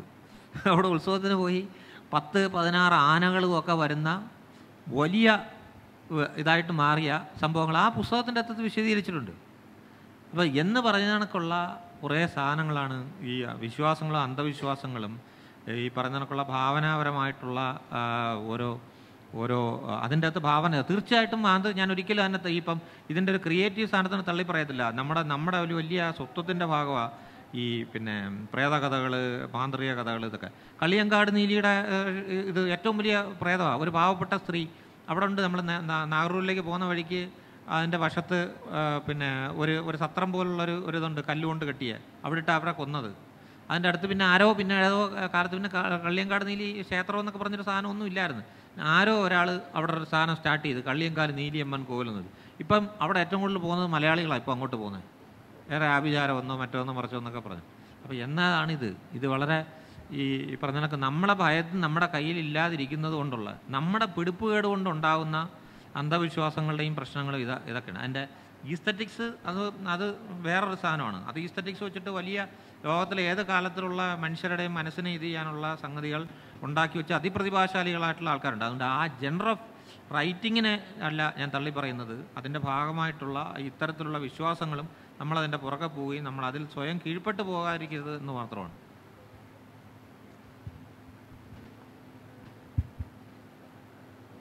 പ്രൊഫസർ ടിസിയിലേക്ക് പോകുന്നതിന് മുമ്പ് ഞാൻ ആമുഖമായിട്ടൊരു കാര്യം പറയാം. കുറച്ച് വർഷങ്ങൾക്ക് മുമ്പ് ഒരു പത്ത് പതിനഞ്ച് ഇരുപത് കൊല്ലം എങ്കിലും ആയിട്ടുണ്ടാവും. ആറ്റിങ്കിൽ ഒരുപാട് പേര് ഒന്നിലധികം പേര് ഏതാണ്ട് ഒരു പത്തിരുപത് പേര് രാവിലെ നാല് മണിക്ക് നാല് മണിക്കോ മൂന്ന് മണിക്കോ അതായത് അസമയം രണ്ട് സ്ത്രീകൾ വെള്ളവസ്ത്രമുടുത്ത് ഈറനണിഞ്ഞ് മന്നം മന്നം റോഡിലൂടെ ഒഴുകിപ്പോന്നു. ആദ്യം കാണുന്ന ഒരു ഓട്ടോ ഡ്രൈവറാണ്. ഓട്ടോ ഡ്രൈവർ മറ്റൊരാളെ വിളിച്ചു പറഞ്ഞു. അവസാനം ഇത് പോലീസ് വരെ സാക്ഷ്യപ്പെടുത്തി. ഈ രണ്ട് സ്ത്രീകളെ റോഡിലൂടെ അസമയത്ത് ഈറനണിഞ്ഞു പോകുന്നത് പലരും കണ്ടു. പിന്നീട് അതൊരു ഇൻവെസ്റ്റിഗേറ്റീവ് ജേർണലിസ്റ്റ് അതിന്റെ പുറകെ പോവുകയും അദ്ദേഹം കണ്ടുപിടിച്ച കാര്യങ്ങൾ വിചിത്രമാ വിചിത്രമായ കാര്യങ്ങളാണ് അദ്ദേഹം കണ്ടുപിടിച്ചത്. അതായത് രാവിലെ ക്ഷേത്രത്തിൽ പോകുന്ന ശീലമുള്ള രണ്ട് സ്ത്രീകൾ രണ്ട് യുവതികൾ സഹോദരിമാർ. അവർ അവർ വെച്ചിരുന്ന അലാം അവരുടെ പിതാവ് എന്തോ കാര്യത്തിന് അത്യാവശ്യമായി പോകാൻ വേണ്ടി സമയം നേരത്തെ ആക്കി വെച്ചിരുന്നു. അവർ എന്നും പോകുന്ന സമയമാണ് എന്ന് കരുതി ഇവർ അസമയത്ത് എഴുന്നേക്കുകയും കുളിച്ച് ക്ഷേത്രത്തിൽ പോവുകയും ചെയ്തതാണ് ഈ കണ്ട ദൃശ്യങ്ങൾ. ഇനി ഇത് പറയുമ്പോൾ തന്നെ എന്തുകൊണ്ടാണ് നമ്മുടെ സങ്കല്പങ്ങളിൽ അല്ലെ വെസ്റ്റേൺ സങ്കല്പങ്ങളിലും പ്രേതം എന്ന് പറയുന്നത് പുരുഷന്മാരാകാതെ സ്ത്രീകളും കുട്ടികളുമായിട്ട് കൺഫൈൻഡ് ആകുന്നത് എന്തുകൊണ്ടായിരിക്കാം അങ്ങനെ ഒരു മാർജിനലൈസേഷൻ ഇതിനുണ്ടാകുന്നത്? ഇതിലെ ഇതിന്റെ മനഃശാസ്ത്ര വശങ്ങളെ പറ്റി പ്രൊഫസർ ടി സി പറയും. എന്റെ ഒരു വിഷയമായി ഞാനിവിടെ സംസാരിക്കാൻ പോകുന്നത് പ്രേത സിനിമകളെ പറ്റിയാണ്. പാരാസ്പേസ് എന്ന ഈ സെഷനിൽ പാരാസ്പേസ് എന്ന് പറയുന്നത് തന്നെ കാലത്തിനും സമയത്തിനും അതീതമായി നിലനിൽക്കുന്ന ഒരു സമാന്തര ഇടം എന്ന അർത്ഥത്തിലാണ്. ഈ ഒരു അർത്ഥത്തിൽ നമ്മൾ പ്രേത സിനിമകളെ നോക്കുകയാണെങ്കിൽ ഒരുപാട് മാനങ്ങൾ അതിന് കാണാൻ കഴിയും. മുമ്പ് ഇവിടെ സൂചിപ്പിച്ചതുപോലെ ഇത്തരത്തിലുള്ള യാതൊരു അനുഭവങ്ങളും എനിക്കില്ല. പക്ഷേ പ്രേത സിനിമകൾ കാണാനും അത് ആസ്വദിക്കാനും എനിക്ക് വളരെ ഇഷ്ടമുള്ള ഒരാളായ സ്ഥിതിക്ക്.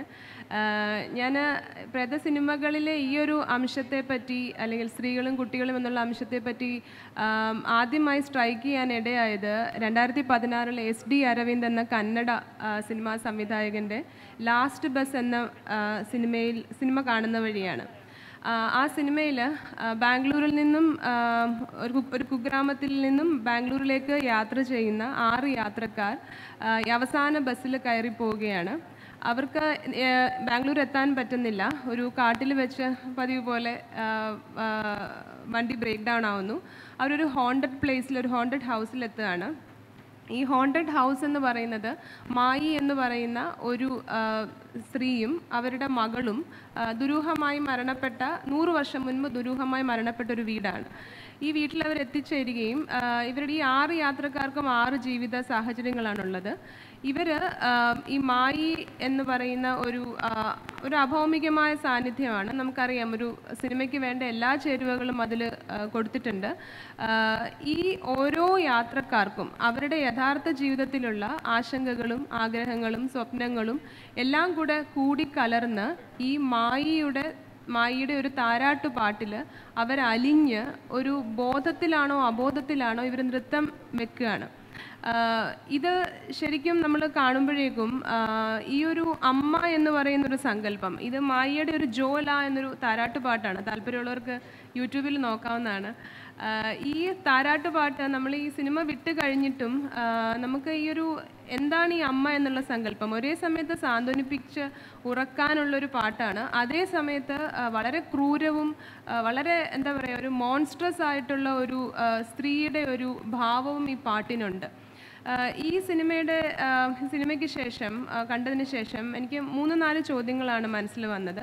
ഒന്നാമത്തെ ചോദ്യം എന്ന് വെച്ചാൽ ഈ എന്തുകൊണ്ടാണ് സ്ത്രീകളുടെ മരണാനന്തര ജീവിതം കൂടുതൽ സിനിമകൾക്ക് കഥാപാത്രമായി മാറുന്നത്? ഇപ്പം മുമ്പ് പറഞ്ഞ അനുഭവങ്ങളിൽ സ്ത്രീ പുരുഷ ഭേദമില്ല. സ്ത്രീയും പുരുഷനും പ്രായഭേദമില്ല. പ്രായമുള്ളവർ പ്രായമില്ലാത്തവർ കുട്ടികൾ ഉണ്ട് പക്ഷേ പ്രേത സിനിമകൾ വിറ്റഴിക്കണമെങ്കിൽ അവിടെ അകാല അകാല മരണം സംഭവിച്ച ഒരു സ്ത്രീ ഉണ്ടാവണം. ഒന്നുകിൽ അവർ പുനർജനിക്കണം അല്ലെങ്കിൽ അവർ പ്രേതമായി തന്നെ വിലസണം. എന്താണ് ഈ ഒരു സാധ്യത പ്രേത സിനിമകൾ അനുവദിക്കുന്നത്? രണ്ടാമത്തെ ചോദ്യം ഗർഭിണിയോ അമ്മയോ ആയ പ്രേതങ്ങൾക്ക് എന്തുകൊണ്ടാണ് ഇത്രയധികം പ്രചാരമുണ്ടാവുന്നത്? മൂന്നാമത്തെ ചോദ്യം പ്രേതാനുഭവത്തോടൊപ്പം തന്നെ ഭ്രാന്താനുഭവം. ഉദാഹരണത്തിന് മണിച്ചിത്രത്താഴ് എന്നുള്ള സിനിമയെ പറ്റി സൂചിപ്പിക്കുകയുണ്ടായി. ആ, സിനിമയിൽ തന്നെ പ്രേതാനുഭവം ഭ്രാന്താനുഭവം ഇടകലർന്ന് നിൽക്കുന്ന ഒരു അവസ്ഥ വരാറുണ്ട്. അത് മറ്റു പല സിനിമകളിലും എന്തുകൊണ്ടാണ് അതങ്ങനെ സംഭവിക്കുന്നത്? നാലാമതായി പാരാനോർമൽ സ്പേസ് എന്ന് പറയുന്ന നമ്മുടെ എല്ലാവരുടെയും മനസ്സിൽ ഭീതി ഭീതിയോടെ നിൽക്കുന്ന ഈ ഒരു സ്പേസിലെ എങ്ങനെയാണ് പ്രേത സിനിമകൾ അടയാളപ്പെടുത്തുക എന്നുള്ളതാണ്. ഈ ചോദ്യങ്ങളുമായി ഞാൻ എസ് ഡി അരവിന്ദനെ സമീപിക്കുകയുണ്ടായി. അദ്ദേഹം പറഞ്ഞത് ഇത് ഒരിക്കലും ഒരു ഡെലിബറേറ്റ് എഫേർട്ടായിട്ട് എഴുതിയ ഒരു കഥയല്ല. അദ്ദേഹം തന്നെയാണ് സ്ക്രിപ്റ്റ് റൈറ്റർ ഒരിക്കലും ഡെലിബറേറ്റ് ആയിട്ട് എഴുതിയ ഒരു കോൺഷ്യസ് ആയിട്ട് ചെയ്ത ഒരു കഥയല്ല. ഇത് വളരെ അബോധ തലത്തിലോ ഞാൻ അറിഞ്ഞില്ല ഇങ്ങനെ ഒരു കഥയിലേക്കാണ് ഇത് എത്തിപ്പെടുന്നതെന്ന്. അതങ്ങനെ സംഭവിച്ചു പോയതാണ്. തീർച്ചയായിട്ടും മറ്റ് പ്രേത സിനിമകൾ കണ്ട ഒരു ഇഫക്റ്റ് ഉണ്ടാവാം. പക്ഷേ ഒരിക്കലും ഒരു പ്ലാൻഡ് ആയുള്ള ഒരു കഥയായിരുന്നില്ല എന്നുള്ളതാണ്. പിന്നീട് തമിഴിലും മലയാളത്തിലും പല അന്തർദേശീയ സിനിമകളിലും ഒക്കെ ഇതേ പ്രമേയം കാണുകയുണ്ടായി. അതിനുശേഷമാണ് എന്തുകൊണ്ടാണ് ഇത് ഇത് ഇങ്ങനെ സംഭവിക്കുന്നുള്ളതിനെ പറ്റി കൂടുതൽ അന്വേഷിക്കാൻ ഇടയായത്. നമ്മൾ കച്ചവട സിനിമകൾ നോക്കുവാണെങ്കിൽ ഒരു സൈഡിൽ നിസ്സഹായരും വളരെ ആശ്രിതരുമായിട്ടുള്ള സ്ത്രീകളെ കാണാം. അതേസമയം വളരെ പവർഫുൾ ആയിട്ടുള്ള എനർജറ്റിക് ആയിട്ടുള്ള പുരുഷന്മാരെ കാണാം. എന്നാൽ ഇതിന് നേരെ തിരിച്ചാണ് പ്രേത സിനിമകളിൽ വരുന്നത്. നമ്മൾ ഇപ്പം ഉദാഹരണത്തിന് ഒരു ഏറ്റവും പറയാനുള്ള ഒരു സങ്കല്പം എന്ന് പറയുന്നത് എസ്ട്ര എന്ന മൂവിയിൽ പ്രിയ ആനന്ദിന്റെ ഒരു ക്യാരക്ടർ നോക്കുകയാണെങ്കിൽ അതിന്റെ പോസ്റ്ററിൽ തന്നെ വെളുത്ത ഗൗൺ ഇട്ട് പ്രിയ ആനന്ദ് ഒരു പട്ടിയെ കൊന്ന് വെള്ള കവറിൽ തൂക്കിപ്പിടിച്ച് മതിലിന്റെ മുകളിലൂടെ ഗർഭിണിയായി വലിയൊരു വയറുമായിട്ട് വളരെ ആയാസപ്പെട്ട് നടക്കുന്നതാണ് നമുക്ക് തോന്നും പക്ഷേ വളരെ കൂളായിട്ട് നടക്കുന്ന ഒരു കാഴ്ചയാണ്. അപ്പം ഈ മതിലിന്റെ മുകളിലൂടെ അല്ലെ വീടിന്റെ മുകളിലൂടെ വളരെ കൂളായിട്ട് വലിയൊരു വയറും വെച്ച് അല്ലെങ്കിൽ വയറ് വെക്കാതെയോ അല്ലാതെയോ നടന്നു പോകുന്ന ഗർഭിണിയായ പ്രേതങ്ങൾ. അതുമല്ലെങ്കിൽ സ്ത്രീ രാത്രിയിൽ തന്നെ നടന്നു പോകുമ്പോൾ ഇന്ദുഗോപൻ ചോദിച്ചു സൂചിപ്പിച്ച പോലെ രാത്രിയിൽ തന്നെ നടന്നു പോകുന്ന പുരുഷന്മാരോട് ചോര കുടിക്കുന്ന അല്ലെങ്കിൽ ചുണ്ണാമ്പുണ്ടോ ചോദിക്കുന്ന അല്ലെ ഭയപ്പെടുത്തുന്ന സ്ത്രീകൾ. അപ്പോൾ യഥാർത്ഥ ജീവിതത്തിൽ നമ്മൾ നോക്കുകയാണെങ്കിൽ ഇപ്പം കവലകളിലോ ബസ്സുകളിലോ കമന്റടിയും ചൂളം വിളിയും ഒക്കെ ഭയന്ന് യാത്ര ഈ വഴി പോകുന്നതിന് പകരം ആ വഴി പോകാം എന്ന് ചിന്തിക്കുന്ന സ്ത്രീകളാണ് യഥാർത്ഥ ജീവിതത്തിലുള്ളത്. പക്ഷേ പ്രേത സിനിമകളിലാകട്ടെ സ്ത്രീകളെ ഭയക്കുന്ന പുരുഷന്മാർ. ഈ വിരോധാഭാസം എന്തുകൊണ്ടാണ് ഉണ്ടാകുന്നത് ഈ വിരോധാഭാസം തന്നെയാണ് സ്ത്രീയുടെ മരണാനന്തര ജീവിതത്തെ കൂടുതൽ കൗതുകമുള്ളതാക്കുന്നതെന്നാണ് എനിക്ക് തോന്നുന്നത്. കാലാകാലങ്ങളായിട്ട് സ്ത്രീകൾക്കെതിരായിട്ട് നടന്നു വരുന്ന പീഡനത്തെ അത് ശരിയല്ലെന്നും അത് നിയമവിരുദ്ധമാണെന്നും നമുക്ക് എല്ലാവർക്കും അറിയാം. അതേ അതേ ബോധം കൊണ്ട് തന്നെ ഇത്തരം അനുഭവങ്ങളിലൂടെ കടന്നു പോകുന്ന സ്ത്രീകൾക്കൊരു പ്രതികാര വാഞ്ച മരണത്തിന് ശേഷം ഉണ്ടാവുന്നു ആ പ്രതികാരത്തിനുള്ള ഒരു സ്കോപ്പ് അല്ലെങ്കിൽ അതിനൊരു ഒരു ഒരു സ്പേസ് ഈ സിനിമകൾക്ക് ഒരു വിഷയമാകുന്നു എന്നും ആണ് എനിക്ക് തോന്നുന്നത്. ഇത് ചില നാടുകളിലെ സിനിമകളിൽ മാത്രമല്ല ആഗോളതലത്തിൽ തന്നെ നമുക്ക് ഒരുപാട് ഉദാഹരണങ്ങൾ പറയാനുണ്ട്. അപ്പം ഇതുകൊണ്ട് ഈ അൺഗോമ വ്യവസ്ഥിതിയിൽ നിൽക്കുന്ന ഒരു shared guilt and anxiety about children and women suffering. ഇതാണ് ഈ ഒരു ഇത്തരം സിനിമകൾ കൂടുതൽ വരാനുള്ള ഒരു കാരണമെന്നാണ് മനസ്സിലാക്കാൻ സാധിക്കുന്നത്. അടിച്ചമർത്തിപ്പെട്ട് അടിച്ചമർത്തിപ്പെട്ട് വെക്കുന്ന ഏത് വികാരം? ഉദാഹരണത്തിന് അത് ഭയമാവാം ക്രൂരതയാകാം ലൈംഗികതയാകാം ഏത് തരത്തിലുള്ള വികാരമാണെങ്കിലും അത് തീർച്ചയായിട്ടും അബോധ മനസ്സിലേക്ക് പോയി അവിടെ പ്രതിസന്ധികൾ ഉണ്ടാവുകയും അത് നമ്മുടെ ദൈനംദിന ജീവിതത്തെയും വ്യക്തിത്വത്തെയും തന്നെ ബാധിക്കും എന്നുള്ളത് വിഖ്യാതനായ മനഃശാസ്ത്രജ്ഞൻ സിഗ്മൺ ഫ്രോയിഡ് പറഞ്ഞു വെച്ചിട്ടുണ്ട്. ഈ ഒരു കളക്റ്റീവ് അൺകോൺഷ്യസ് അതായത് ഒരു സംഘടിത അബോധത്തിന്റെ തുടർച്ചയായിട്ടാണ് ഈ കുറ്റബോധം ഈ പ്രേത സിനിമകളിൽ ചിത്രീകരിക്കപ്പെടുന്നത്. ഇതിലേറ്റവും ഇൻട്രസ്റ്റിംഗ് ആയ ഒരു കാര്യം എന്ന് വെച്ചാൽ ഇത് പ്രേത സിനിമകളിൽ മാത്രമാണ് ഇത്ര എവിഡന്റ് ആയിട്ട് കാണുന്നു എന്നുള്ളതുമാണ്. രണ്ടാമത്തെ പോയിന്റായിട്ട് പറയാനുള്ളത് ഗർഭിണികൾ എന്നുള്ളതാണ്. എന്തുകൊണ്ടാണ് ഗർഭിണികളായ പ്രേതങ്ങൾ? ഈ ഈ കുറച്ച് നാൾ മുമ്പ് വന്ന രണ്ട് സിനിമകളാണ് മലയാളത്തിൽ വന്നതാണ്. കളിമണ്ണ് സക്രിയയുടെ ഗർഭിണികൾ എന്ന സിനിമയിൽ ഈ രണ്ട് സിനിമകളിലാണ് കൂടുതലായി ഗർഭം പ്രസവം എന്നുള്ളൊരു വിഷയം ഒരു പ്രധാന വിഷയമായിട്ട് പറയുന്നത്.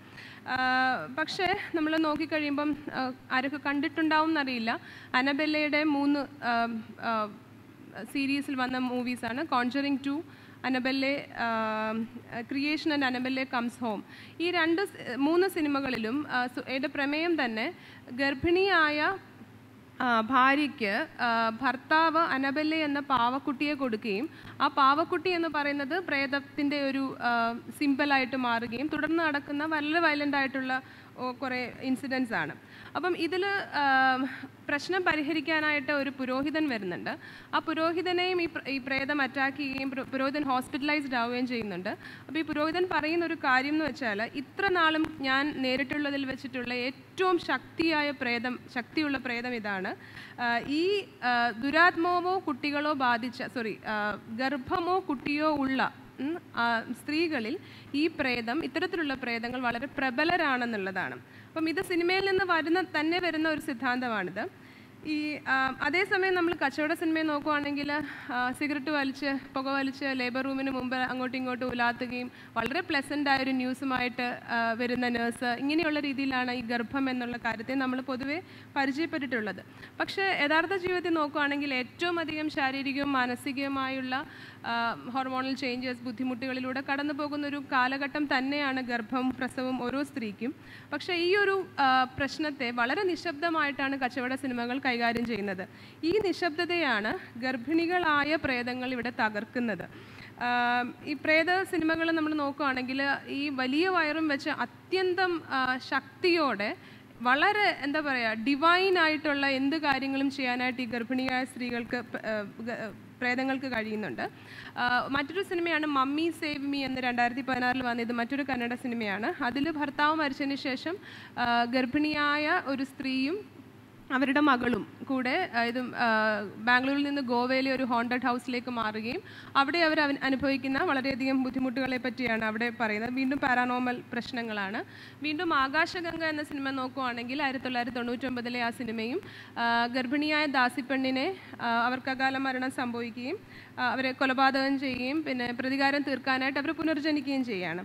മുമ്പ് പറഞ്ഞ ഇതേ ഫോർമുലയിലാണ് ആകാശഗംഗയിലെ കഥയെങ്കിലും അവിടെ വളരെ നിസ്സഹായനായ ഒരു പ്രതിഷ് പ്രതിശ്രുത വരനെ നിങ്ങൾ ഓർക്കുന്നുണ്ടാവാം. അദ്ദേഹം ഒന്നും ചെയ്യാൻ പറ്റാതെ അദ്ദേഹം അവിടെ ഇങ്ങനെ നിൽക്കുകയാണ്. അത് ശരിക്കും പറഞ്ഞാൽ നമ്മുടെ ഇത്രയും നാളുമുള്ള ഒരു മാസ്കുലിൻ റോളിന് തികച്ചും എതിരായുള്ള ഒരു സങ്കല്പമാണ് അവിടെ സംഭവിക്കുന്നത്. അവസാനം ഈ പ്രേതാവേശമെല്ലാം കഴിഞ്ഞ് ഈ നായികയെ ഈ പ്രതിശ്രുത വരന്റെ അടുത്തേക്ക് എത്തിക്കുന്നിടത്താണ് സിനിമ വിജയിക്കുന്നത്. മൂന്നാമത്തെ കാര്യമാണ് എന്തുകൊണ്ട് പ്രേതാനുഭവം ഭ്രാന്തും എന്നുള്ളത്. ഈ നാഗവല്ലി എന്ന കഥാപാത്രത്തിൽ തന്നെ നമ്മൾ നോക്കുകയാണെങ്കിൽ ഇത് രണ്ടുമുണ്ട്. അവസാനം നമുക്കറിയാമല്ലോ ഇതൊരു പ്രേതാനുഭവം അല്ല ഇതൊരു ഭ്രാന്താണ് എന്നുള്ളൊരു അവസ്ഥയിലേക്കാണ് അല്ലെങ്കിൽ ഒരു മാനസിക രോഗമാണെന്നുള്ള രീതിയിലേക്കാണ് സിനിമ കൺക്ലൂഡ് ചെയ്യപ്പെടുന്നത്. രണ്ടായിരത്തി പതിനേഴിൽ എസ്ര എന്ന സിനിമയിൽ തന്നെ പ്രേതാവേശമുണ്ടെന്ന് കരുതുന്ന സ്ത്രീയുടെ ഭർത്താവിന് ചെറുപ്പകാലത്ത് മാനസിക പ്രശ്നമുണ്ടെന്നാണ് ഈ ജൂത റബ്ബി കണ്ടെത്തുന്നത്. അദ്ദേഹം പറയുന്നത് എസ്രയുടെ പ്രേതം പ്രവേശിക്കുന്നത് ശരീരവും മനസ്സും തമ്മിൽ പൂർണമായി ബന്ധമില്ലാത്തവരിലാണെന്നും എന്ന് വെച്ചാൽ ശരീരവും മനസ്സും ദുർബലരായ ആളുകളിലാണ് ഈ പ്രേത ബാധ ഉണ്ടാവുന്നതെന്നുള്ളതാണ് മുമ്പ് ഇന്ദു ഇന്ദുഗോപൻ സൂചിപ്പിച്ചിരുന്നു അതിന്റെ ഒരു എന്തുകൊണ്ട് നമ്മൾ ഭയക്കുന്നു എന്നുള്ളത്. മറ്റൊരു സിനിമ തമിഴ് സിനിമ നയൻതാരയുടെ മായ എന്ന രണ്ടായിരത്തി പതിനഞ്ചിലെ സിനിമ അതിൽ ഒരു കാലത്ത് മാനസിക രോഗ കേന്ദ്രമായിരുന്ന മായാവനം എന്ന സ്ഥലത്ത് പ്രേതാവേശ അവസ്ഥയിൽ ഒരു യുവതിയായ അമ്മ എത്തിപ്പെടുകയാണ്. അവൾ അവൾ അവളുടെ പാസ്റ്റ് ലൈഫിൽ അല്ലെങ്കിൽ പാസ്റ്റ് ലൈഫല്ല അവളുടെ ജീവിതത്തിൽ അനുഭവിച്ചുകൊണ്ടിരുന്ന ടോർച്ചറുകൾ മാനസിക ബുദ്ധിമുട്ടുകൾ ഈ സിനിമകളിലൂടെ സിനിമകളിലൂടെ പുറത്തേക്ക് വരികയാണ്. ഈ വീണ്ടും ഫ്രോഡിനെ പറ്റി പറയുകയാണെങ്കിൽ കലയെയും സൗന്ദര്യശാസ്ത്രത്തെയും ആസ്വദിക്കുന്നതിൽ അദ്ദേഹം ഈ ത്രീ തീവ്രമായ വികാരങ്ങളുടെ പങ്കിനെ പറ്റി ആയിരത്തി തൊള്ളായിരത്തി പത്തൊമ്പതിൽ അദ്ദേഹം ദി അൺകാനി എന്നൊരു ഉപന്യാസത്തിൽ എഴുതിയിട്ടുണ്ട്. അദ്ദേഹം പറയുന്നത് what is uncanny becomes frightening precisely because it is not known and familiar നമുക്കറിയാത്ത ഒരു കാര്യ കാര്യത്തോട് നമുക്ക് ഭയവും അതേസമയം കൗതുകവും ഉണ്ടാകുന്നു അജ്ഞാതമായത് ഒരേ സമയം ഭയപ്പെടുത്തുകയും കൊതിപ്പിക്കുകയും ചെയ്യുന്നു. ഗർഭിണിയായ സ്ത്രീകളുടെ പൈശാചികത ഭീകരവും അജ്ഞാതവുമാണ്. കാരണം നിഷ്കളങ്കരം ലൈഫ് സസ്റ്റെയിനിങ് വളരെ എന്താ പറയുക വാംത്തുള്ള ഗർഭിണികളെയാണ് നമ്മൾ കണ്ടിട്ടുള്ളത്. പക്ഷേ ഈ വളരെ ട്രൊമാറ്റിക് ആയ ഒരു പാസ്റ്റിലൂടെ കടന്നു പോയിട്ടുള്ള ഗർഭിണികൾക്ക് അല്ലെങ്കിൽ പ്രേതം ആവേശിച്ചിട്ടുള്ള ഗർഭിണികൾക്ക് അവരുടെ പ്രതികാരത്തിന് കൂടുതൽ തീവ്രതയുണ്ടെന്ന് കാണിക്കാനായിട്ട് ഈ സിനിമകൾക്ക് കഴിയുന്നുണ്ട്. ഇങ്ങനെ വിശകലനം ചെയ്യുമ്പോൾ പാരാനോമൽ സ്പേസിനെ പ്രേത സിനിമകൾ എങ്ങനെയാണ് അടയാളപ്പെടുത്തുന്നതെന്ന് കൂടെ പറയേണ്ടതാണ്. കച്ചവട സിനിമ സിനിമകളിൽ കാണുന്നത് പോലെ തന്നെയുള്ള യുവസുന്ദരികളാണ് എല്ലാ ഗർഭിണികളായ പ്രേതങ്ങളോ അല്ലെങ്കിൽ പെൺപ്രേതങ്ങളെല്ലാം എല്ലാവരും വളരെ സുന്ദരികളാണ്. വീർത്ത വയറ് വെച്ച് ഓടുകയും ചാടുകയും അലറുകയും ചെയ്യുന്ന സുന്ദരികൾ പ്രേക്ഷകർക്ക് തീർച്ചയായിട്ടും ഒരു സുഖമുള്ള കാഴ്ച തന്നെയാണ്. രണ്ടായിരത്തി പത്തിലെ ഡയല ഡയാന ടൈലർ എഴുതിയിട്ടുള്ള ഒരു ലേഖനം മോൺസ്ട്രോസിറ്റി ഓഫ് വിമൻ എന്ന് പറയുന്ന അതിൽ അവർ പ്രതിപാദിക്കുന്നത് ഒരു സ്ത്രീയുടെ നോർമാലിറ്റി അല്ലെങ്കിൽ മൊറാലിറ്റി എന്ന് പറയുന്ന ആ ഒരു ജെൻഡേർഡ് റിലേഷൻഷിപ്പിന്റെ വയലേഷനാണ് ഈ മോൺസ്ട്രസ് ആയ സ്ത്രീകൾ എന്ന് എന്നുള്ളതിലൂടെ നമ്മൾ കാണിക്കാൻ ഉദ്ദേശിക്കുന്നത്. പക്ഷേ അതേസമയം ഈ അധിക സുന്ദരികളായ ഈ ഗർഭിണികളായ പ്രേതങ്ങളെയോ അല്ലെങ്കിൽ പെൺപ്രേതങ്ങളെയോ കുട്ടികളെയോ കയറൂരി വിടാനായിട്ട് സംവിധായകൻ അങ്ങനെ സമ്മതിക്കുന്നില്ല. സദാചാര വിരുദ്ധരാണ് അവർ അവർ ചോര കുടിക്കുന്നവരാണ് പുരുഷന്മാരെ ശല്യം ചെയ്യുന്നവരാണ് ദുർനടപ്പുകാരാണ്. അതുകൊണ്ട് ഇവരെ എന്തുകൊണ്ടും പൂട്ടേണ്ടതാണ്. അല്ലെങ്കിൽ നമ്മൾ ആൽമരത്തിൽ ബന്ധിക്കുകയോ ഏതെങ്കിലും രീതിയിൽ ഇവരെ ഇവരുടെ ദുർനടപ്പിനെ ശരിയാക്കേണ്ടതാണ്. അതുകൊണ്ട് അത് പക്ഷേ അത് ചെയ്യുന്നത് എല്ലാ സിനിമകളിലും വളരെ എക്സ്പീരിയൻസ്ഡ് ആയിട്ടുള്ള മാസ്കുലൈൻ ഹാൻഡ്സ് ആണ്. പുരുഷന്മാർ തന്നെ വേണം സ്ത്രീകളെ പൂട്ടാനായിട്ട്. ഭർത്താവിന്റെ ചോര വീണ്ടും മനുഷ്യത്താളിലേക്ക് പോയാലും ഭർത്താവിന്റെ ചോര കുടിക്കുന്ന നാഗവല്ലിയല്ല പക്ഷേ മജ്ജയും മാംസവുമുള്ള ഗംഗ എന്ന ഭാര്യയാണ് നകുലന് ബ്രഹ്മദത്തൻ നമ്പൂതിരിപ്പാട് വഴി ഡോക്ടർ സണ്ണി ജോസഫ് ജോസഫ് തിരിച്ചു കൊടുക്കുന്നത്. നകുലന്റേത് മാത്രമാകുന്ന ഗംഗയാണ് നമ്മൾ ആഗ്രഹിച്ച് വളരെ സമാധാനത്തോടെ തിയേറ്റർ വിട്ടു പോകുന്നത്. ഭീകരമായ രീതിയിൽ മറ്റു സിനിമയാണ് പ്രസവം ചിത്രീകരിക്കുന്ന രണ്ടായിരത്തി നാലിലെ വെള്ളി നക്ഷത്രം എന്ന സിനിമയിലും ആ നാട്ടിലെ ആ ബംഗ്ലാവിൽ അല്ലെങ്കിൽ ആ വീട്ടിലെ എല്ലാ ആളുകളും പ്രേതബാധയിൽ ബുദ്ധിമുട്ടുന്നുണ്ട്. ആ പ്രേതബാധയും ഇതുപോലെ വളരെ കഷ്ടപ്പെട്ട് ഉച്ചാടനം ചെയ്തിട്ട് ഈ പ്രേതത്തെയും പ്രേതത്തിന്റെ കുഞ്ഞിനെയും നോർമലൈസ് ചെയ്ത് നായകന്റെ കുടുംബത്തിലോട്ട് ചേർക്കുന്നിടത്താണ് സിനിമ അവസാനിക്കുന്നത്. ഞാൻ അവസാനിപ്പിക്കട്ടെ. എന്തുകൊണ്ടാണ് പ്രേത സിനിമകൾ സ്ത്രീ പ്രേതങ്ങളെ സൃഷ്ടിക്കുകയും വളരെ ക്രൂരമായ രീതിയിൽ തന്നെ അവരെ ഉന്മൂലനം ചെയ്യുകയും ചെയ്യുന്നത്? പെൺപ്രേതങ്ങളെ ബന്ധിച്ചില്ലെങ്കിൽ സമൂഹത്തിന് എന്താണ് നഷ്ടം? എന്താണ് സംഭവിക്കാനുള്ളത്? സ്ത്രീയുടെ ത്രീ തീവ്ര വികാരങ്ങളെ അംഗീകരിക്കാനുള്ള സമൂഹത്തിന്റെ ഭയമാണോ ഇത്? നമ്മൾ ഇത്രയും സമയമായിട്ട് വ്യക്തിയുടെ ഭയത്തെപ്പറ്റിയായിരുന്നു പറഞ്ഞുകൊണ്ടിരുന്നത്. ഇതൊരു കളക്റ്റീവ് ഫിയർ ആണോ അത്? പ്രേത സിനിമകളുടെ ഫോർമുല പെണ്ണിടമാണ് പെണ്ണിടം എന്ന് തോന്നിപ്പിക്കാമെങ്കിലും അവരുടെ സന്തോഷം അവരുടെ ഫ്രീഡം എന്നൊക്കെ തോന്നിപ്പിക്കാമെങ്കിലും അവ തികച്ചും പേട്രിയാർക്കിൽ ആവുന്നിടത്താണ് ഈ ഓരോ സിനിമകളും വിജയിക്കുന്നത്. കുട്ടികൾക്കും സ്ത്രീകൾക്കും എതിരായ അക്രമങ്ങൾ നമ്മുടെ സമൂഹത്തിൽ നിലനിൽക്കപ്പെടുകയും ആ കുറ്റബോധത്തിലാണ്ട് അവ ഈ ഈ പീഡനങ്ങൾ കാരണം കുറ്റബോധത്തിലാണ്ട് കലാസൃഷ്ടികളുടെ രചന രചനയിലേക്ക് അങ്ങനെ എത്തിപ്പെടുകയും ചെയ്യും.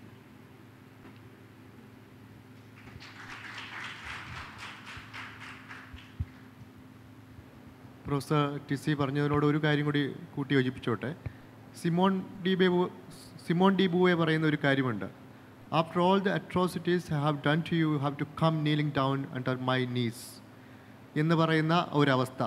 നിങ്ങൾ ഞാൻ എന്ത് ദ്രോഹം കാണിച്ചാലും എല്ലാത്തിനും അവസാനം നീ എന്റെ കാലിന്റെ കാൽപാദത്തിലേക്ക് ഇഴഞ്ഞു വരണം.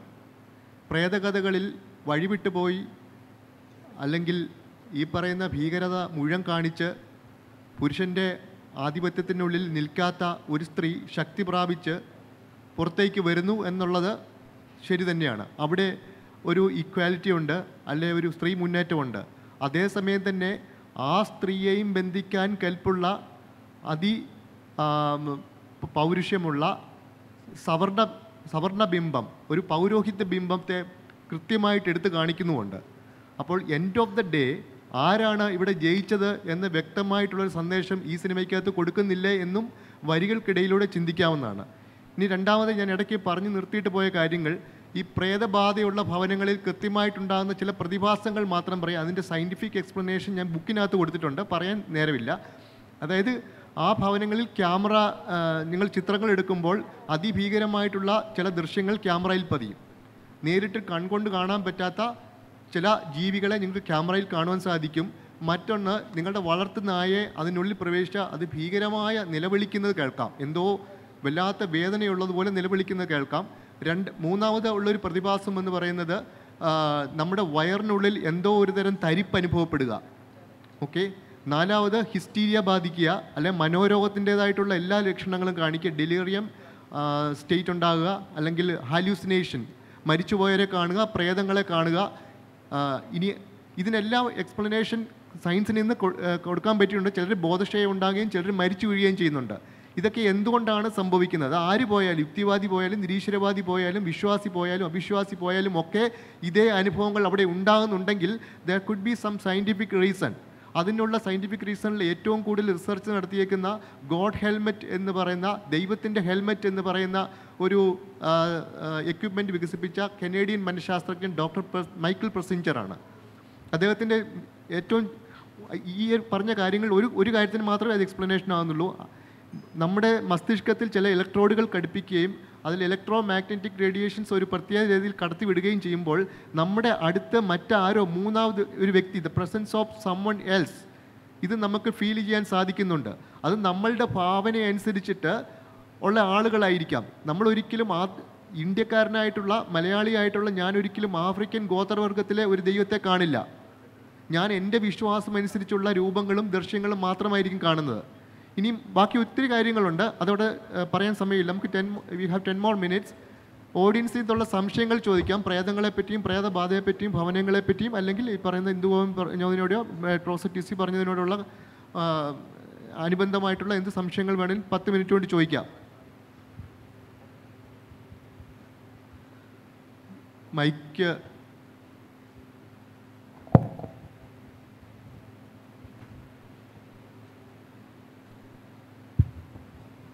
professor TC Marian Joseph പറഞ്ഞ ഒരു കാര്യത്തിൽ തുടങ്ങാം. അതായത് പ്രേത സിനിമകൾ വിജയിക്കുന്നത് അത് പാട്രിയാർക്കൽ ട്രെൻഡുകളെ അനുകൂലിക്കുന്നതുകൊണ്ടാണ്. അത് കറക്റ്റാണ് അത് അത് ഒരു വിശദീകരണം അർഹിക്കുന്നു. അപ്പോൾ ഞാനിനി മോഡറേറ്ററിലേക്ക് വരാം. മോഡറേറ്റർ പറഞ്ഞത് യഥാർത്ഥത്തിൽ എല്ലാ പാരാ നോർമൽ സ്പേസസിനും ഒരു മൈക്രോ ഫിസിക്സ് ഉണ്ട് ആക്ച്വലി അതാണ് സത്യം. കാരണം ഇപ്പോൾ നമുക്കറിയാം ഇപ്പോൾ ഹൈപ്പോക്സിയ ഉള്ള ഇടങ്ങളിൽ ഹില്ലി ഏരിയയിൽ തപസ് ചെയ്യുന്ന ആളുകൾക്ക് ഒരുപാട് ഹലൂസിനേഷൻ ഉണ്ടാകും കാരണം ഓക്സിജൻ കുറവായിരിക്കും. ആണ് ഹൈപ്പോക്സിയ എന്ന് പറയുന്നത്. അപ്പോൾ ഹൈ ഈ സ്പേസുകൾ ഹോണ്ടഡ് ഹൗസുകളിൽ ശരിക്കും ഓക്സിജൻ കണ്ടന്റ് നമ്മൾ അത് സെൻസർ ചെയ്യണം. അവിടുത്തെ ഓക്സിജൻ എത്ര? ആ സ്പേസിൽ വേറെ ഏതെങ്കിലും കെമിക്കൽസിന്റെ പ്രത്യക്ഷം ഉണ്ടോ? അല്ലെങ്കിൽ ഒരു നമ്മൾ ഇപ്പോൾ വെള്ളം എടുക്കാത്ത കിണറിലേക്ക് ഒരാൾ പോകുമ്പോൾ അയാൾ സി ഒ ടു കൊണ്ട് അയാൾ മരിക്കുന്നു. അല്ലെങ്കിൽ ബെർമഡോ ട്രയാങ്കിളിൽ മീഥെയിൻ ഗ്യാസ് സക്ക് ചെയ്യുന്നു. അപ്പോൾ ഏതിലും ഒരു എക്സ്പ്ലനേഷൻ ഉണ്ടാവും. അതാണ് ചെയർ പറഞ്ഞെന്നുള്ള ഒരു ടേക്ക് അവേ എന്ന് പറയുന്നത്. അപ്പോൾ ശരിക്കും ഇതിന്റെ പിന്നിലൊക്കെ യഥാർത്ഥത്തിൽ യാതൊരു ഫിസിക്സും ഇല്ലാതെ കെമിസ്ട്രി ഇല്ലാതെ ഇതൊന്നും നടക്കില്ല. അപ്പോൾ ഞാൻ വീണ്ടും ടെസ്സി തോമസിലേക്ക് വരികയാണ്. എന്താണ് പ്രേത സിനിമ? പാറ്റർ കൊണ്ട് വിജയിക്കുന്നത്. അതൊന്ന് എക്സ്പ്ലെയിൻ ഒന്ന് ഫർദറായിട്ട് ഒന്ന് എക്സ്പ്ലെയിൻ ചെയ്താൽ എന്താണ്? പ്രേത സിനിമകൾ പാട്രിയാർക്കിയെ ഫോളോ ചെയ്യുന്നതുകൊണ്ട് വിജയ സാധ്യത കൂടുന്നു എന്ന് പറഞ്ഞു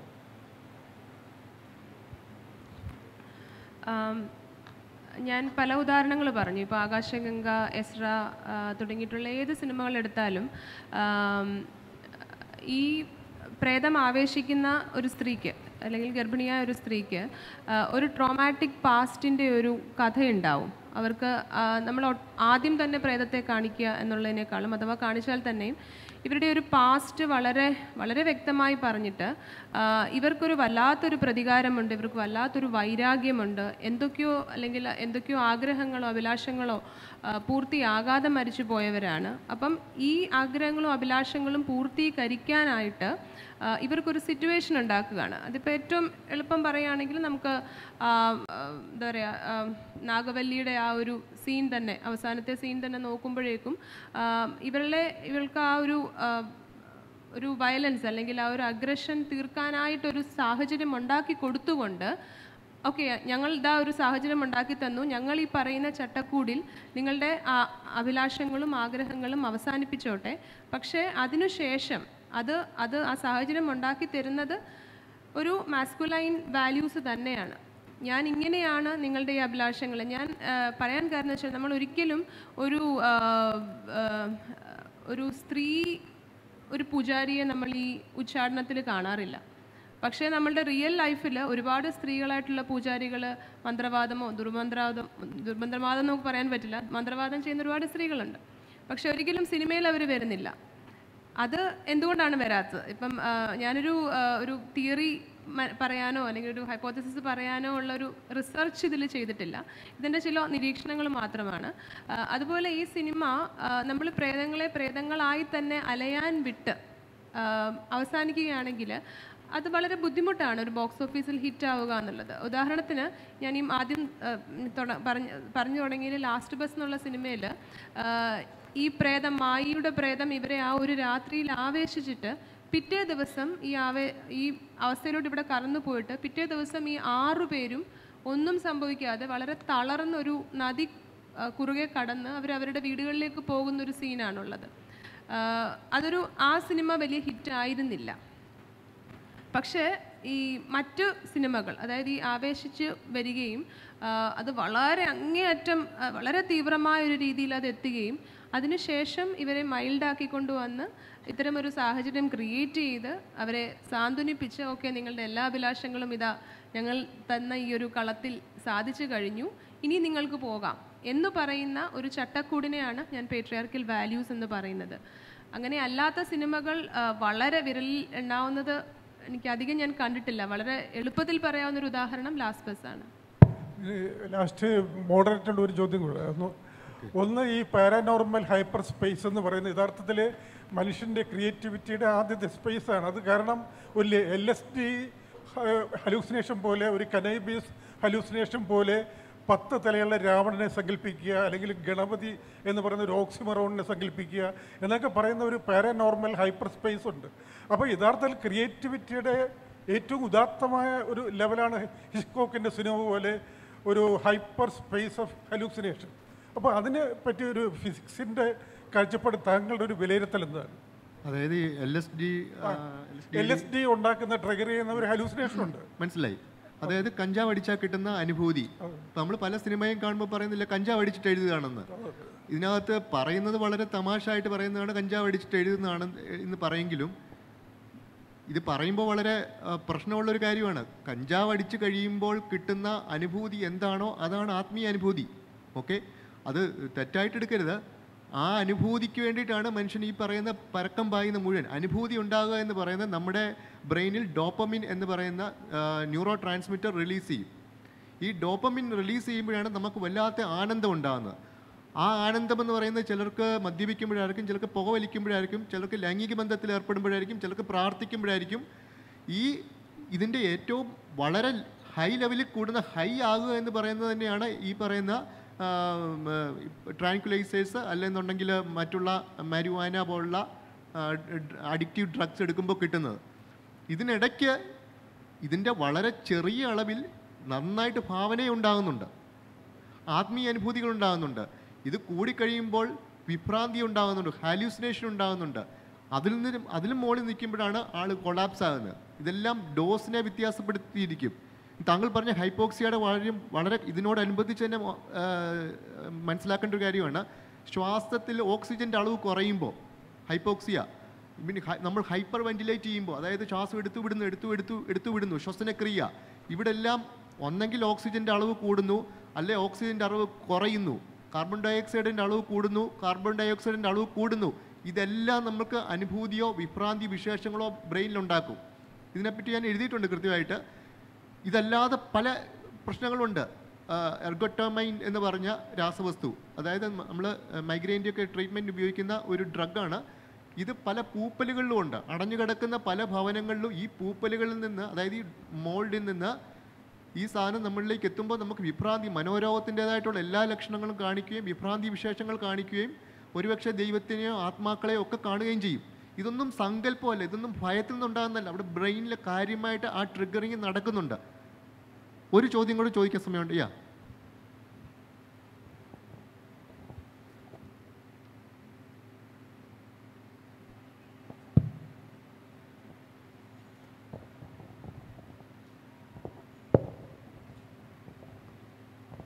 ഡോക്ടർ ടിസിയോടാണ് ചോദ്യം. മാഡം ഈ സിനിമയുടെ ഒരു കോണ്ടെക്സ്റ്റിൽ അത് എക്സ്പ്ലെയിൻ ചെയ്തല്ലോ. അങ്ങനെയല്ലാതെ യഥാർത്ഥ ജീവിതത്തിൽ ആളുകൾക്കുണ്ടാകുന്ന ഇത്തരം അനുഭവങ്ങളെക്കുറിച്ച് എങ്ങനെയാണ് അത് വിലയിരുത്തുന്നത്?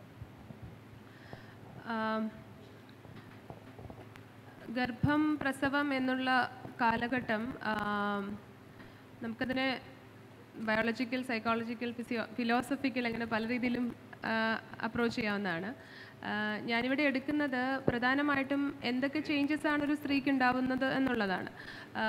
ഇതിൽ ഒരു വളരെ സബ്ജക്റ്റീവായിട്ടുള്ള വളരെ പേഴ്സണലൈസ്ഡ് ആയിട്ടുള്ള ഒരു അനുഭവമാണ് ഗർഭം എന്ന് പറയുന്നത്. ഒരുപക്ഷെ നമ്മുടെയൊക്കെ വീടുകളിൽ അല്ലെങ്കിൽ നിങ്ങൾ കണ്ടിട്ടുള്ള ഗർഭിണികൾ അല്ലെങ്കിൽ വളരെ എന്താ പറയുക അടുത്ത് പ്രസവം നടന്നിട്ടുള്ള സ്ത്രീകളിലൊക്കെ നോക്കുകയാണെങ്കിൽ ഇതിനു മുൻപ് അവർ എങ്ങനെയായിരുന്നു? അതായത് ഗർഭത്തിന് മുമ്പ് അവരെങ്ങനെയായിരുന്നു പ്രസവത്തിന് മുമ്പ് അവരെങ്ങനെയായിരുന്നു എന്നുള്ള എന്നുള്ളതിൽ നിന്നും ഒരുപാട് വ്യത്യാസങ്ങൾ ഒരു വ്യക്തി എന്ന രീതിയിൽ അവർക്ക് സംഭവിക്കുന്നുണ്ട്. അതവർ അറിഞ്ഞോ അറിയാതെയാണോ എന്ന് നമുക്കറിയില്ല. ഇപ്പോൾ തന്നെ നമ്മളിപ്പോൾ ഒരുപാട് വാർത്തകൾ കേൾക്കുന്നുണ്ട്. നവജാത ശിശുവിനെ കഴുത്ത് ഞെരിച്ചു കൊല്ലുന്ന അമ്മ അല്ലെങ്കിൽ നവതാ നവജാത ശിശുവിനെ യാതൊരു ശ്രദ്ധയും കൊടുക്കാതെ ഇരിക്കുന്ന അമ്മ. എന്നൊക്കെ പറയുന്നത് നമ്മൾ നമ്മൾ വിചാരിക്കും എന്തൊരു അമ്മയാണിത്. ഈ അമ്മ അമ്മയുടെ ഉത്തരവാദിത്വം കുഞ്ഞിനെ നോക്കുക എന്നുള്ളതല്ലേ എന്നുള്ളതാണ്. പക്ഷേ ഇവിടെ നമ്മൾ വിസ്മരിക്കുന്ന ഒരു കാര്യം എന്ന് വെച്ചിട്ടുണ്ടെങ്കിൽ നമ്മുടെ സമൂഹത്തിന് അല്ലെങ്കിൽ ഈ ഈ സ്ത്രീയെ ചുറ്റിപ്പറ്റി നിൽ നിൽക്കുന്ന ആളുകൾ ഇവൾക്ക് കൊടുക്കേണ്ട അതീവ ജാഗ്രതയും പിന്തുണയുമാണ്. വളരെയധികം വിഷാദത്തിലേക്ക് കടന്നു പോകാവുന്നൊരു സാഹചര്യം ഈ സ്ത്രീകൾക്ക് ഉണ്ടാവാറുണ്ട് ആഹ് ഇപ്പം നമ്മൾ ഒരു മെന്റൽ ഡിസോർഡർ എന്നുള്ള രീതിയിൽ പറയുകയാണെങ്കിൽ തന്നെ പോസ്റ്റ്പാർട്ടം ഡിപ്രഷൻ എന്ന് നമുക്കതിനെ പറയാം. ഈ ഡിപ്രഷൻ ഒരുപക്ഷെ ഈ പ്രസവത്തിന് മുമ്പും സംഭവിക്കാം ഗർഭത്തിന്റെ സമയത്തും സംഭവിക്കാം. അപ്പം അതിനങ്ങനെ ഒരു സൈക്കോളജിക്കലായിട്ടുള്ളൊരു എക്സ്പ്ലനേഷൻ നമുക്ക് കൊടുക്കാൻ പറ്റും.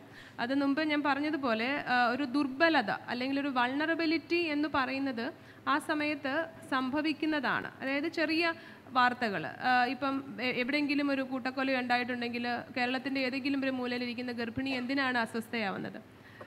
ഇത്തരത്തിലുള്ള വളരെ ചെറിയ ചെറിയ കാര്യങ്ങൾ പോലും അവരെ വല്ലാതെ അസ്വസ്ഥരാക്കാവുന്നതാണ്. അത് സാധാരണ നമുക്ക് വീട്ടിലുള്ളവർക്കോ അല്ലെങ്കിൽ ഒരു പൊതുസമൂഹത്തിന് വേഗം മനസ്സിലാകാൻ പറ്റാത്ത ഒരു കാര്യമാണ്. കാരണം അത്- അത്തരത്തിലുള്ളൊരു ഗവേഷണങ്ങളോ അത്തരത്തിലുള്ളൊരു അവയർനെസ് നമുക്ക് ഉണ്ടായിട്ടില്ല.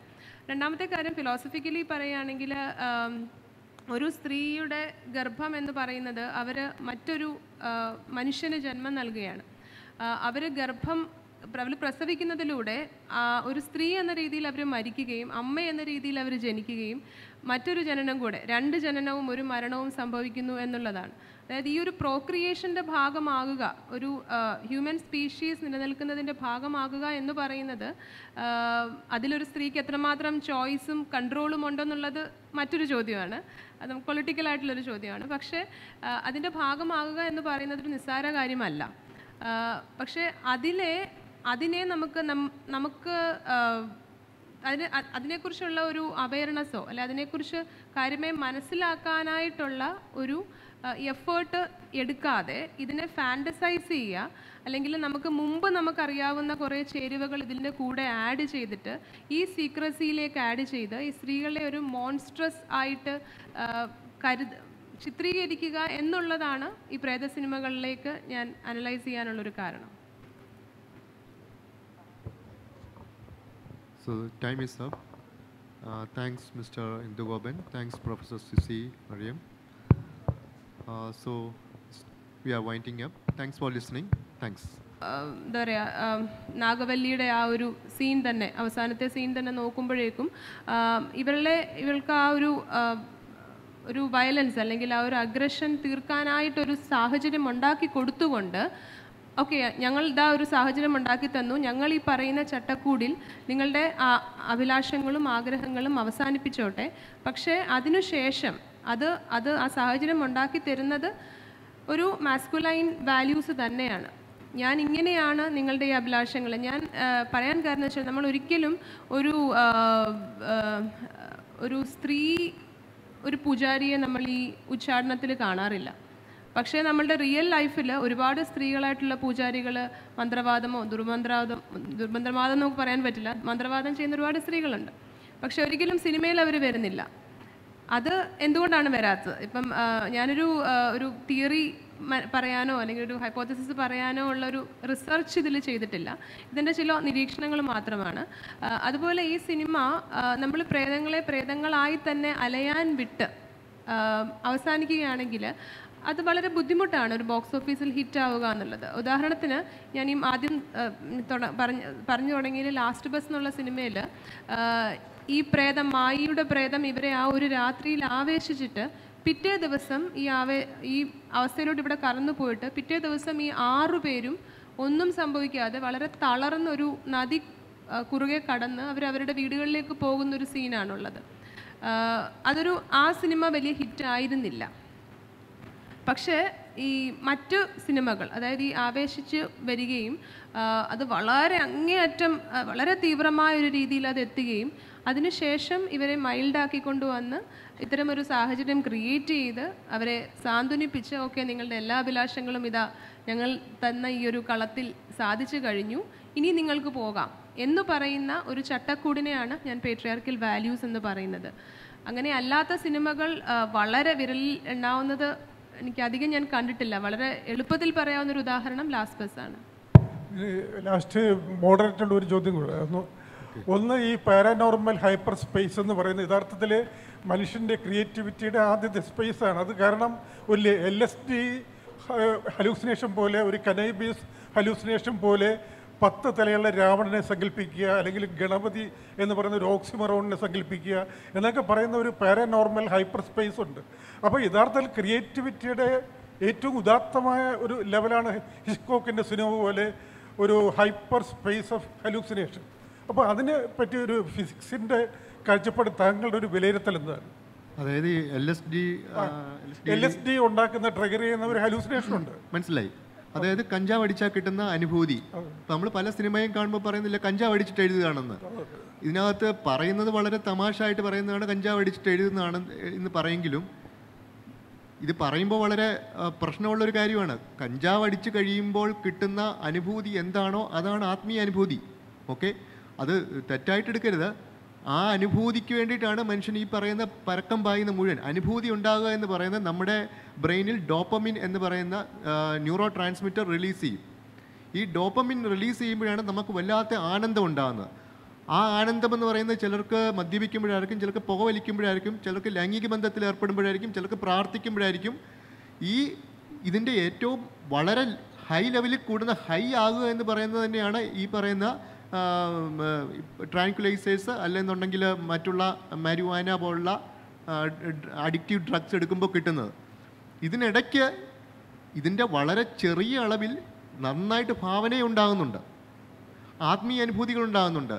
ഇത് കൂടിക്കഴിയുമ്പോൾ വിഭ്രാന്തി ഉണ്ടാകുന്നുണ്ട് ഹാലൂസിനേഷൻ ഉണ്ടാകുന്നുണ്ട്. അതിൽ നിന്നും അതിലും മുകളിൽ നിൽക്കുമ്പോഴാണ് ആൾ കൊളാപ്സ് ആകുന്നത്. ഇതെല്ലാം ഡോസിനെ വ്യത്യാസപ്പെടുത്തിയിരിക്കും. താങ്കൾ പറഞ്ഞ ഹൈപ്പോക്സിയയുടെ കാര്യം വളരെ ഇതിനോടനുബന്ധിച്ച് തന്നെ മനസ്സിലാക്കേണ്ട ഒരു കാര്യമാണ്. ശ്വാസത്തിൽ ഓക്സിജന്റെ അളവ് കുറയുമ്പോൾ ഹൈപ്പോക്സിയ പിന്നെ നമ്മൾ ഹൈപ്പർ വെന്റിലേറ്റ് ചെയ്യുമ്പോൾ അതായത് ശ്വാസം എടുത്തു വിടുന്നു എടുത്തു എടുത്തു എടുത്തു വിടുന്നു ശ്വസനക്രിയ ഇവിടെ എല്ലാം ഒന്നെങ്കിൽ ഓക്സിജന്റെ അളവ് കൂടുന്നു അല്ലെ ഓക്സിജന്റെ അളവ് കുറയുന്നു കാർബൺ ഡയോക്സൈഡിന്റെ അളവ് കൂടുന്നു കാർബൺ ഡയോക്സൈഡിന്റെ അളവ് കൂടുന്നു ഇതെല്ലാം നമുക്ക് അനുഭൂതിയോ വിഭ്രാന്തി വിശേഷങ്ങളോ ബ്രെയിനിലുണ്ടാക്കും. ഇതിനെപ്പറ്റി ഞാൻ എഴുതിയിട്ടുണ്ട് കൃത്യമായിട്ട്. ഇതല്ലാതെ പല പ്രശ്നങ്ങളുണ്ട്. എർഗോട്ടോമൈൻ എന്ന് പറഞ്ഞ രാസവസ്തു.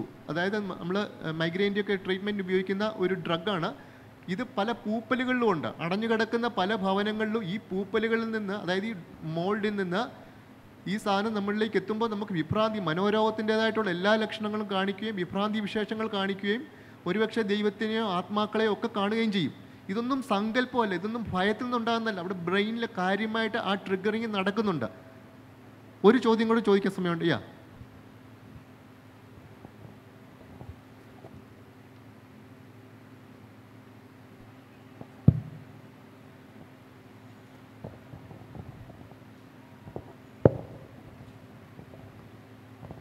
ഡോക്ടർ ടിസിയോടാണ് ചോദ്യം. മാഡം ഈ സിനിമയുടെ ഒരു കോണ്ടെക്സ്റ്റിൽ അത് എക്സ്പ്ലെയിൻ ചെയ്തല്ലോ. അങ്ങനെയല്ലാതെ യഥാർത്ഥ ജീവിതത്തിൽ ആളുകൾക്കുണ്ടാകുന്ന ഇത്തരം അനുഭവങ്ങളെക്കുറിച്ച് എങ്ങനെയാണ് അത് വിലയിരുത്തുന്നത്?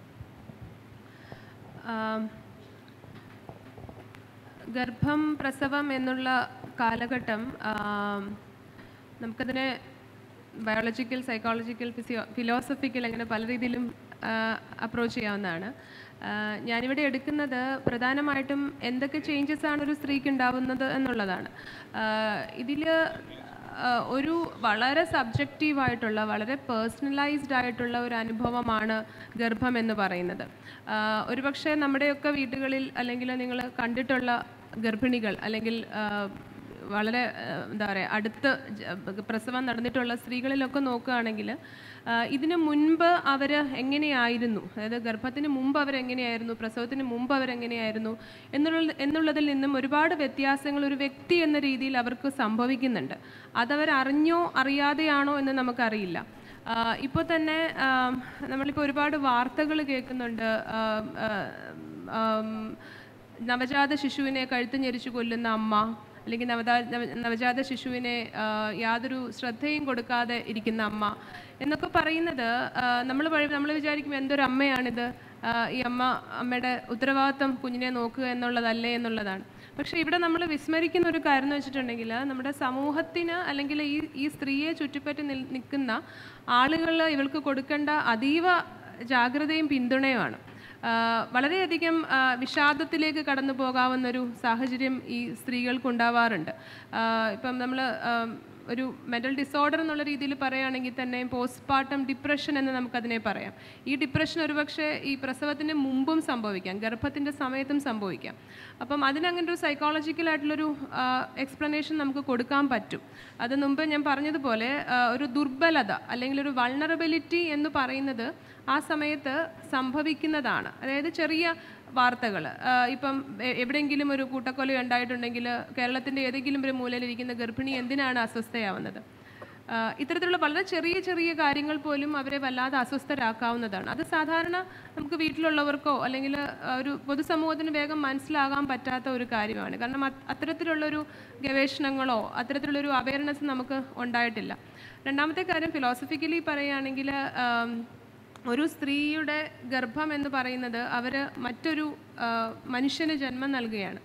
അവർ ഗർഭം അവർ പ്രസവിക്കുന്നതിലൂടെ ഒരു സ്ത്രീ എന്ന രീതിയിൽ അവർ മരിക്കുകയും അമ്മ എന്ന രീതിയിൽ അവർ ജനിക്കുകയും മറ്റൊരു ജനനം കൂടെ രണ്ട് ജനനവും ഒരു മരണവും സംഭവിക്കുന്നു എന്നുള്ളതാണ്.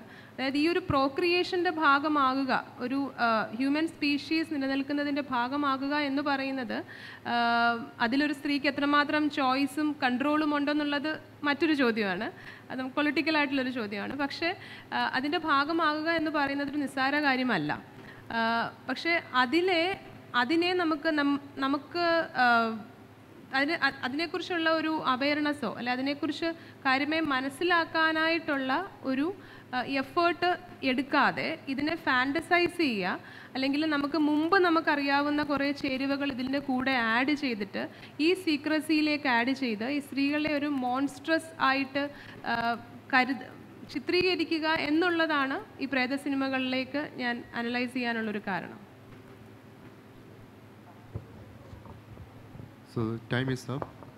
Uh, thanks, Mr. Indugoben. Thanks, Professor Sisi Mariam. Uh, so we are winding up. Thanks for listening.